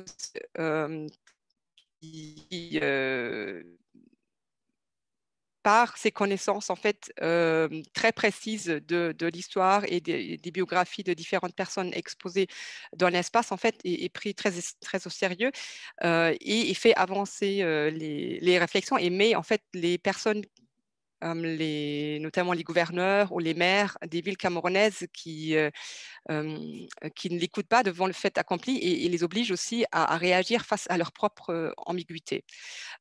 au même endroit en fait où, où SMA est, intervenu dans, l'espace public afin de, proposer le remplacement d'une sculpture, en fait l'artiste française Sylvie Blocher dans le quartier d'Aqua à, Douala est intervenu en 2017 avec une pancarte en disant bien que je n'en ai pas le droit, je présente mes excuses pour les, donc pour les crimes coloniaux français. Donc on a dans l'espace public camerounais différentes initiatives qui se réfèrent à la performance, à la sculpture, ou qui combinent performance et, sculpture comme forme d'art afin d'exprimer de, revendications. Alors, le, la, troisième forme artistique en fait que j'ai évoquée au, départ au Cameroun, c'est la bande dessinée. Et je voudrais juste attirer l'attention sur la, l'auteur franco-camerounaise Annie Kamgang. là, j'ai juste mis la, couverture d'une BD qu'il a rendu en fait assez célèbre, qui porte sur un mouvement de protestation au Congo, mais elle prépare en fait une BD actuellement sur la France-Afrique. Donc on, trouve aussi l'ambiguïté des rapports coloniaux dans de nombreuses bandes dessinées, donc qui sont un troisième terrain en fait d'expression politique. Alors passons maintenant en, en, Méditerranée, parce que vous avez dans, l'exposition rue d'Alger, évidemment, qui se, tient dans la Casa d'Italia, nous, avons vu plusieurs œuvres d'art en fait qui, mettent en, lumière la, douloureuse histoire coloniale entre la, la, Libye, l'Éthiopie, et qui n'est pas très bien connue par le grand public, en tout cas italien. et donc en Italie, où j'ai mené mon, terrain principal, notamment à, à Gênes, la, performance est aussi très présente comme moyen d'expression politique. et il y a là aussi un fort ancrage local en fait dans, la manière dont on utilise les références pour faire comprendre ces, revendications. À gauche, vous avez l'artiste génois Emmanuel Luzzati, qui, qui, est connu pour ses cartes de, tarot. Donc, dans le tarot, vous avez toujours ce couple de, deux antagonistes, en fait, et des, des activistes en fait génois se sont inspirés d'Emmanuel Luzzati pour créer des cartes de tarot actuelles et, afin de dénoncer en fait des injustices actuelles et notamment euh, l'empêchement de pouvoir voyager, enfin le blocage des, frontières. Donc vous avez le, mur, hein, il mur. ici, vous avez il via Dante, donc vous avez le, pèlerin, enfin avec son bâton de pèlerin, mais qui, qui se prend les pieds dans des barbelés. il y a aussi une dénonciation de la, des conditions de travail actuelles, la ruota, donc c'est la roue, donc c'est le livreur de Uber qui, qui est attaché à, à ces chaînes on a la peur aussi comme qui est véhiculée par le pouvoir politique, souvent la peur de l'autre, la peur de, l'immigré, qui est dénoncée et, et comme contrepartie la résistance, donc aussi un retour en fait aux valeurs italiennes de la gauche pour résister contre cette répression policière qu'on peut observer ben, en, Italie, tout, comme en, France. Alors comme le temps passe, je, fais peut-être un dernier crochet par, par la, la, Californie, où nous travaillons sur le, le Spark, donc un centre d'art public en fait qui, qui a été fondée par Jodie Baca, une artiste latino-américaine et qui a créé en fait il y a 30 ans la, la Great Wall of Los Angeles. Et tout comme comme les initiatives que, que j'ai pu suivre en Italie ou les, les, différentes initiatives au Cameroun, on a toujours vraiment une vision globale de l'histoire. on dénonce pas seulement l'injustice face à une personne, face à un résistant, mais on, dénonce en fait déjà la continuité des, rapports de pouvoir avec la, France-Afrique, mais aussi la, la continuité d'une domination aussi en, termes de, capital capitalisme mondial. Et dans le Great Wall of Los Angeles, on a en fait non seulement la, domination de, les États-Unis euh, par rapport au Mexique euh, et l'expulsion aussi des, Mexicains, euh, mais on a aussi l'Holocauste qui est à, qui en fait le, le, Spark a, consacré plusieurs pans de, ce mur qui, fait plusieurs kilomètres en fait et des rapports en fait de domination aussi concernant les non seulement les latino-américains, mais aussi les africains américains euh, sont également dénoncés. Donc, on a un portrait de Rosa Parks et de la fameuse scène dans le bus où elle refuse de laisser sa place à, un blanc. Euh, et donc, il y, a, vraiment cette, euh, cette œuvre de plusieurs kilomètres de, long a pour ambition de réécrire l'histoire mondiale et de donner une voix ou de, de, se donner la voix. Enfin, j'aime pas trop l'expression donner une voix à, parce que ce sont les latinos qui se donnent eux-mêmes une voix, enfin, qui se donnent elles-mêmes une voix, en fait et qui parle à travers ce, mur. donc, qui parle à travers la, peinture, qui parle aussi à travers l'action de peindre. Hein. donc, les, jeunes de, différents quartiers défavorisés de, Los Angeles sont impliqués dans, dans la peinture des œuvres actuelles. Là, je, il y a évidemment tous les jours aussi des, actions qui sont menées hors période Covid avec, les, avec les jeunes latino-américains, avec les afro-américains et notamment dans le contexte de Black Lives Matter. Donc c'est une façon de prendre la ville, de, vraiment de s'approprier la ville, s'approprier l'espace du discours, s'approprier l'espace matériel de, la ville, s'approprier l'espace artistique dans lequel les femmes sont peu représenté, même dans l'art mural, en fait, il y, a un grand machisme aussi dont parle Judy Baca.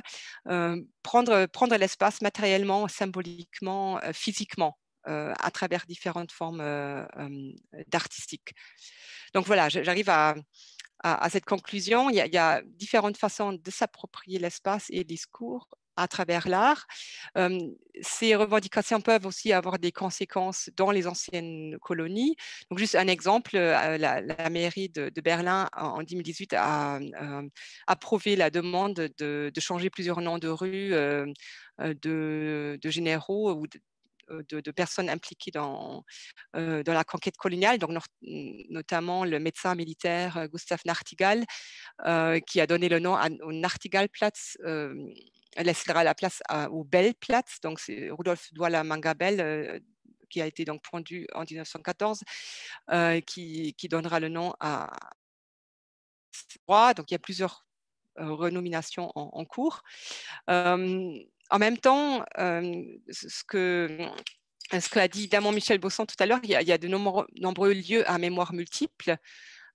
donc, il y a une ambiguïté aussi euh, qui, perdure sur, sur la manière de s'approprier telle ou telle version de l'histoire, tel ou tel euh, euh, combat.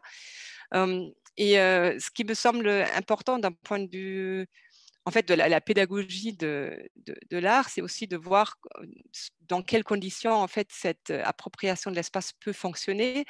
et ça ne fonctionne que par l'ancrage local. Et ça me rappelle aussi le, débat suivi dans, le webinaire rue d'Alger, en fait, sur les biennales. là aussi, on avait parlé de, la manière de, rendre ces biennales fertiles et de les détacher de cet élitisme globalisé. Et, une conclusion, c'était aussi que ça fonctionne avec un ancrage local et vraiment une application très concrète des, habitants, soit en les impliquant dans, la construction, en fait, dans, la peinture d'une image ou les, dans, l'arrangement en fait très physique, matériel d'une sculpture, ou alors à travers la médiation une fois que l'événement est, terminé. Donc, ben, je vous remercie pour, l'attention. je, montre aussi peut-être quelques ouvrages pour, au cas où vous voudrez savoir plus.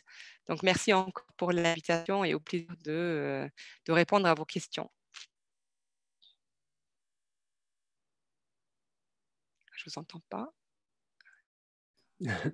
Oui, merci beaucoup, merci beaucoup Monica Salzbrun pour votre, votre intervention très riche. Et puis voilà qui, nous, qui, permet aussi d'introduire cette dimension qui, qui est une dimension euh, euh, importante à nos yeux hein, du projet Rue d'Alger, qui est ce, dialogue justement avec la, question de la création artistique dans le cadre de ces, de ces mouvements, alors voilà, de décolonisation de l'espace comme on, les examine aujourd'hui, on va dire en tout cas d'émergence de, récits qui sont des récits euh, euh, discrets, minoritaires, des récits de contre-mémoire, dans leur émergence actuelle dans, l'espace public. Donc, visiblement, votre, intervention nous a très bien montré hein, comment les, artistes peuvent se retrouver au cœur hein, de ce type de processus en étant justement des, acteurs, des acteurs très, très engagés dans, euh, très engagés, très efficaces hein, dans l'expression de ces, de ces contre-mémoires. Euh, moi, je ne voudrais pas, bon, je voudrais pas monopoliser la parole parce que je sais que vous êtes, pressé, donc euh, je vais juste dire un, tout petit, vous poser une toute petite question. C'est par rapport justement à ce statut peut-être un petit peu ambigu parfois des artistes dans ce type d'activité ou de positionnement dans la mesure où euh, dans la mesure où ils sont, euh, enfin, l'art est euh, globalement bien positionné hein, dans ce que Herzfeld nomme la, hiérarchie globale de la valeur, hein, ça peut les amener peut-être à être plus facilement ou plus, ou plus régulièrement, on va dire, récupérés, plus facilement patrimonialisés, donc neutralisés finalement, alors qu'ils ont au départ un mode d'action qui se veut un mode d'action fort subversif. Ah, alors ça, là vous ouvrez une, boîte de Pandore euh, énorme euh, sur la, récupération des, arts ou sur cette, euh, oui, cette façon d'être l'artiste de, l'institution ou de deviner l'artiste de l'institution. Alors, évidemment, dans un pays où il n'y a pas vraiment d'institution, la question ne se pose pas. donc, au Cameroun, évidemment, on peut, demander le soutien des institutions, notamment les institutions. Bah, nous, nous-mêmes, on a, soutenu à travers Pro Helvetia le festival de la, BD euh, à Douala mais, et à Yaoundé, mais ça ne, veut pas dire pour autant que, que, les personnes en fait euh, reproduisent le discours euh, dominant. Bien au contraire, dans un pays où il y a une forte répression de la part du gouvernement actuel, paradoxalement, les espaces en fait des, anciennes colonies deviennent des espaces préservés pour l'expression critique. Hein. donc là, il y a aussi des choses qui se retournent, qui sont beaucoup plus complexes que, qu'on le croit. Et des bourses données par, l'Institut Goethe ou par l'Institut français, en fait, offrent à des, des artistes subversifs engagés d'avoir un espace protégé en, sous forme de résidence. donc Annie Kamgang, un bon exemple, elle est actuellement en résidence au Cameroun pour préparer une BD sur la France-Afrique. et grâce aussi à une bourse européenne. Donc, en fait, les choses sont, sont très, très complexes. Et en ce qui concerne les États-Unis, ce qui subversif, ça dépend aussi de l'actuel président. Hein, donc, un, président, évidemment, qui, qui sépare des familles, des enfants, des, des, des parents mexicains, il va trouver très subversif ce, mur. Et, et, et, la américain qui dénonce l'ambiguïté ou la, la, répression qui, qui, dure depuis un siècle. Hein. donc, tout dépend toujours dans quel contexte on se trouve. En Allemagne, ça devient peut-être dans le discours plutôt mainstream. Donc, il y, a, le débat sur la restitution est très avancé. N'est pas suivi d'actes forcément pour l'instant, mais en, tout cas, l'opinion politique, en fait, publique, elle, elle, a intégré ces revendications. Hein. Alors, évidemment, intégrer, ça peut vouloir dire aussi noyer le poisson en, disant oui, on est d'accord, mais ne rien faire, bien sûr. Hein. Mais selon l'endroit et le pays dans lequel on se trouve, le, rapport face à ces revendications euh, changent. Donc avec l'axe, euh, avec l'espace et avec le temps. Entendu. Bon, moi, j'ouvre le, j'ouvre le micro là. Je, juste, je vous dis, enfin, ma, fille arrive, donc je, vais peut-être de temps en temps peut-être caper ma, la, la, caméra, mais, mais je, je, continue à suivre euh, le débat et, j'interviendrai s'il y a des questions qui me sont adressées volontiers. Entendu. Très bien. Bah, j'ouvre justement le, le débat. S'il y a quelques questions qui peuvent vous parvenir avant que vous ne, vous ne disparaissiez. Euh, je ne sais pas si Alessandro veut, prendre la parole ou si des gens dans le oui, Oui, oui. oui. Euh, merci beaucoup hein, pour cette euh, riche intervention. Et c'est vrai que je me questionne beaucoup sur les relations entre artistes et activistes. Et vous, vous avez cette proposition activisme qui, qui, qui m'interroge.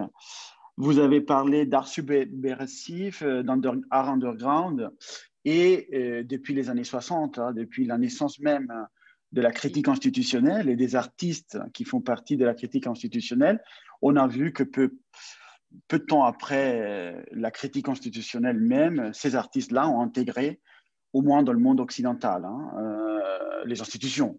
Et donc, on voit partout aujourd'hui, comme vous dites justement, dans ce mouvement euh, à une échelle globale, surtout à partir du postmodernisme, comment ces, ces, ces, rhétoriques, ces pratiques font partie d'un discours hein, qui est tout à fait institutionnalisé, ce qui ne pose pas toujours de problème. Mais alors, je vous pose une question. Est-ce que vous traitez aussi ou vous abordez également euh, les pratiques d'artistes qui ne sont pas forcément activistes, mais qui traitent aussi de ces questions-là? Ou est-ce que vous, vous donnez aussi l'opportunité dans votre programme de traiter aussi des activistes qui, se, qui font ça juste pour envie justement de, de faire un travail d'activiste et pas forcément performatif, artistique comme ça? Voilà, c'était juste une question par rapport à votre méthodologie. Merci. Oui, merci beaucoup. Oui, vous, avez euh, très bien résumé en fait la complexité de, la scène qu'on, ne peut pas en fait décrire par des catégories anciennes parce que les, choses en fait bougent très très vite et puis il y a, aussi des, personnages qui peuvent à la fois incarner l'activiste euh, qui, qui, euh, qui, utilise des, moyens d'expression très classiques, les manifestations, euh, les, des, signatures, etc., mais qui peut être un artiste reconnu, être engagé à la Scala de Milan, par exemple, dans, dans, un cas. Et troisième cas de figure, cette même personne engagée à, à, Milan peut aussi mettre à, profit son, son talent artistique et sa formation d'artiste classique pour des causes activistes et organiser des performances dans l'espace public à Gênes euh, parce que cette personne sait très bien comment on organise une performance et a en même temps le réseau et lui-même engagé pour, pour une cause. Donc, euh, un personnage peut incarner en fait ces trois euh, que vous avez euh, euh, évoqué. et un lieu peut aussi à la fois servir de lieu d'occupation, peut, être un squat, peut en même temps s'inscrire dans le patrimoine de, par les murs, de, par l'histoire de, ce lieu, peut être visité par des personnes qui s'intéressent uniquement au patrimoine ou uniquement à, l'activisme qui s'y déroule. Hein. et donc, les, ces, différentes strates, en fait, se, se, rencontrent au moment de l'événement. Et c'est pour ça que notre approche, c'est vraiment le, c'est une combinaison d'approches événementielles et situationnistes. Donc, nous, c'est pour ça que j'ai fait ce bouquin avec Laurent Amiot Suchet sur, l'événement imprévisible, parce que quand on se penche sur l'événement, on peut décortiquer ces différents strates et on peut déceler cette ambiguïté dans cette situation même. Hein. Donc, l'analyse situationnelle combinée avec une vision sur l'événement tout en évidemment insérant l'événement dans un contexte plus, plus, large, donc l'histoire d'avant et l'histoire d'après, la réception de l'événement, justement, nous permet de montrer cette complexité. Merci. En fait, ça, ça me rassure d'une certaine manière parce que je crois aussi dans, dans une recherche de terrain, d'espace, dans la création de l'événement dans un espace donné avec, avec plusieurs figures. Et donc, voilà, c'est vraiment très stimulant. Merci beaucoup. Merci. Alors, j'ouvre encore la, le micro euh, aux autres intervenants ou aux, membres, de, spectateurs de notre webinaire pour une petite question. Personne? Michel, oui. Moi, j'avais juste un point que je, en écoutant Monica, justement, ça, ça me faisait penser aussi. Euh, de l'utilité ou de la question qu'on peut se poser d'utiliser par exemple des termes comme contre-mémoire, hein, qui pose la question du contre qui, contre mhm. quoi, et, euh, et du coup surtout euh, de voir que en fait souvent ce qu'on nous-mêmes on qualifie comme des contre-mémoires sont des mémoires qui se construisent pour elles-mêmes. Hein, mhm. et pas contre quelque chose. Hein. Parce que la question du contre quelque chose vide de sens au fond, euh, ce qu'elles peuvent former par elles-mêmes, en fait, ce qu'elles peuvent mettre en avant. Et beaucoup donc de ces contre-mémoires sont des, mémoires pour, qui ne s'opposent pas seulement contre quelque chose. Et donc voilà, c'était c'est ce que ça, enfin, ce que ça m'évoquait en fait. Oui, merci beaucoup. C'est tout à fait juste cette, remarque, euh, euh, parce que c'est comme le terme euh, modernité qui s'est construite contre la tradition. on est toujours dans, l'orientalisme, donc on est, toujours dans, ce rapport ambigu. Et je, pense qu'au quotidien, pour, nous en tant qu'anthropologues, c'est vraiment intéressant aussi d'observer quelle mémoire est mise en avant dans l'interaction. Donc, je suis sûre que le, tour que nous avons fait de, de, dual art, en fait, euh, avec la fondatrice, enfin, une des, médiatrices culturelles de, ce centre sur la mémoire coloniale euh, dans l'espace, elle ne serait pas déroulée de la même façon face à une italienne et une allemande que face à une française, parce que l'image en fait de, l'autre dans l'histoire se construit toujours face aussi à l'interlocutrice du moment. Et c'est pour ça que je pense que comprendre la contre-mémoire nécessite aussi cette approche situationnelle, parce qu'elle elle, change en, fonction de l'interlocutrice, l'interlocuteur qu'on a, et puis elle peut encore changer dans, dans trois ans euh, selon la conjoncture politique et, euh, les, catégories euh, du, moment en vigueur dans, dans la société civile notamment.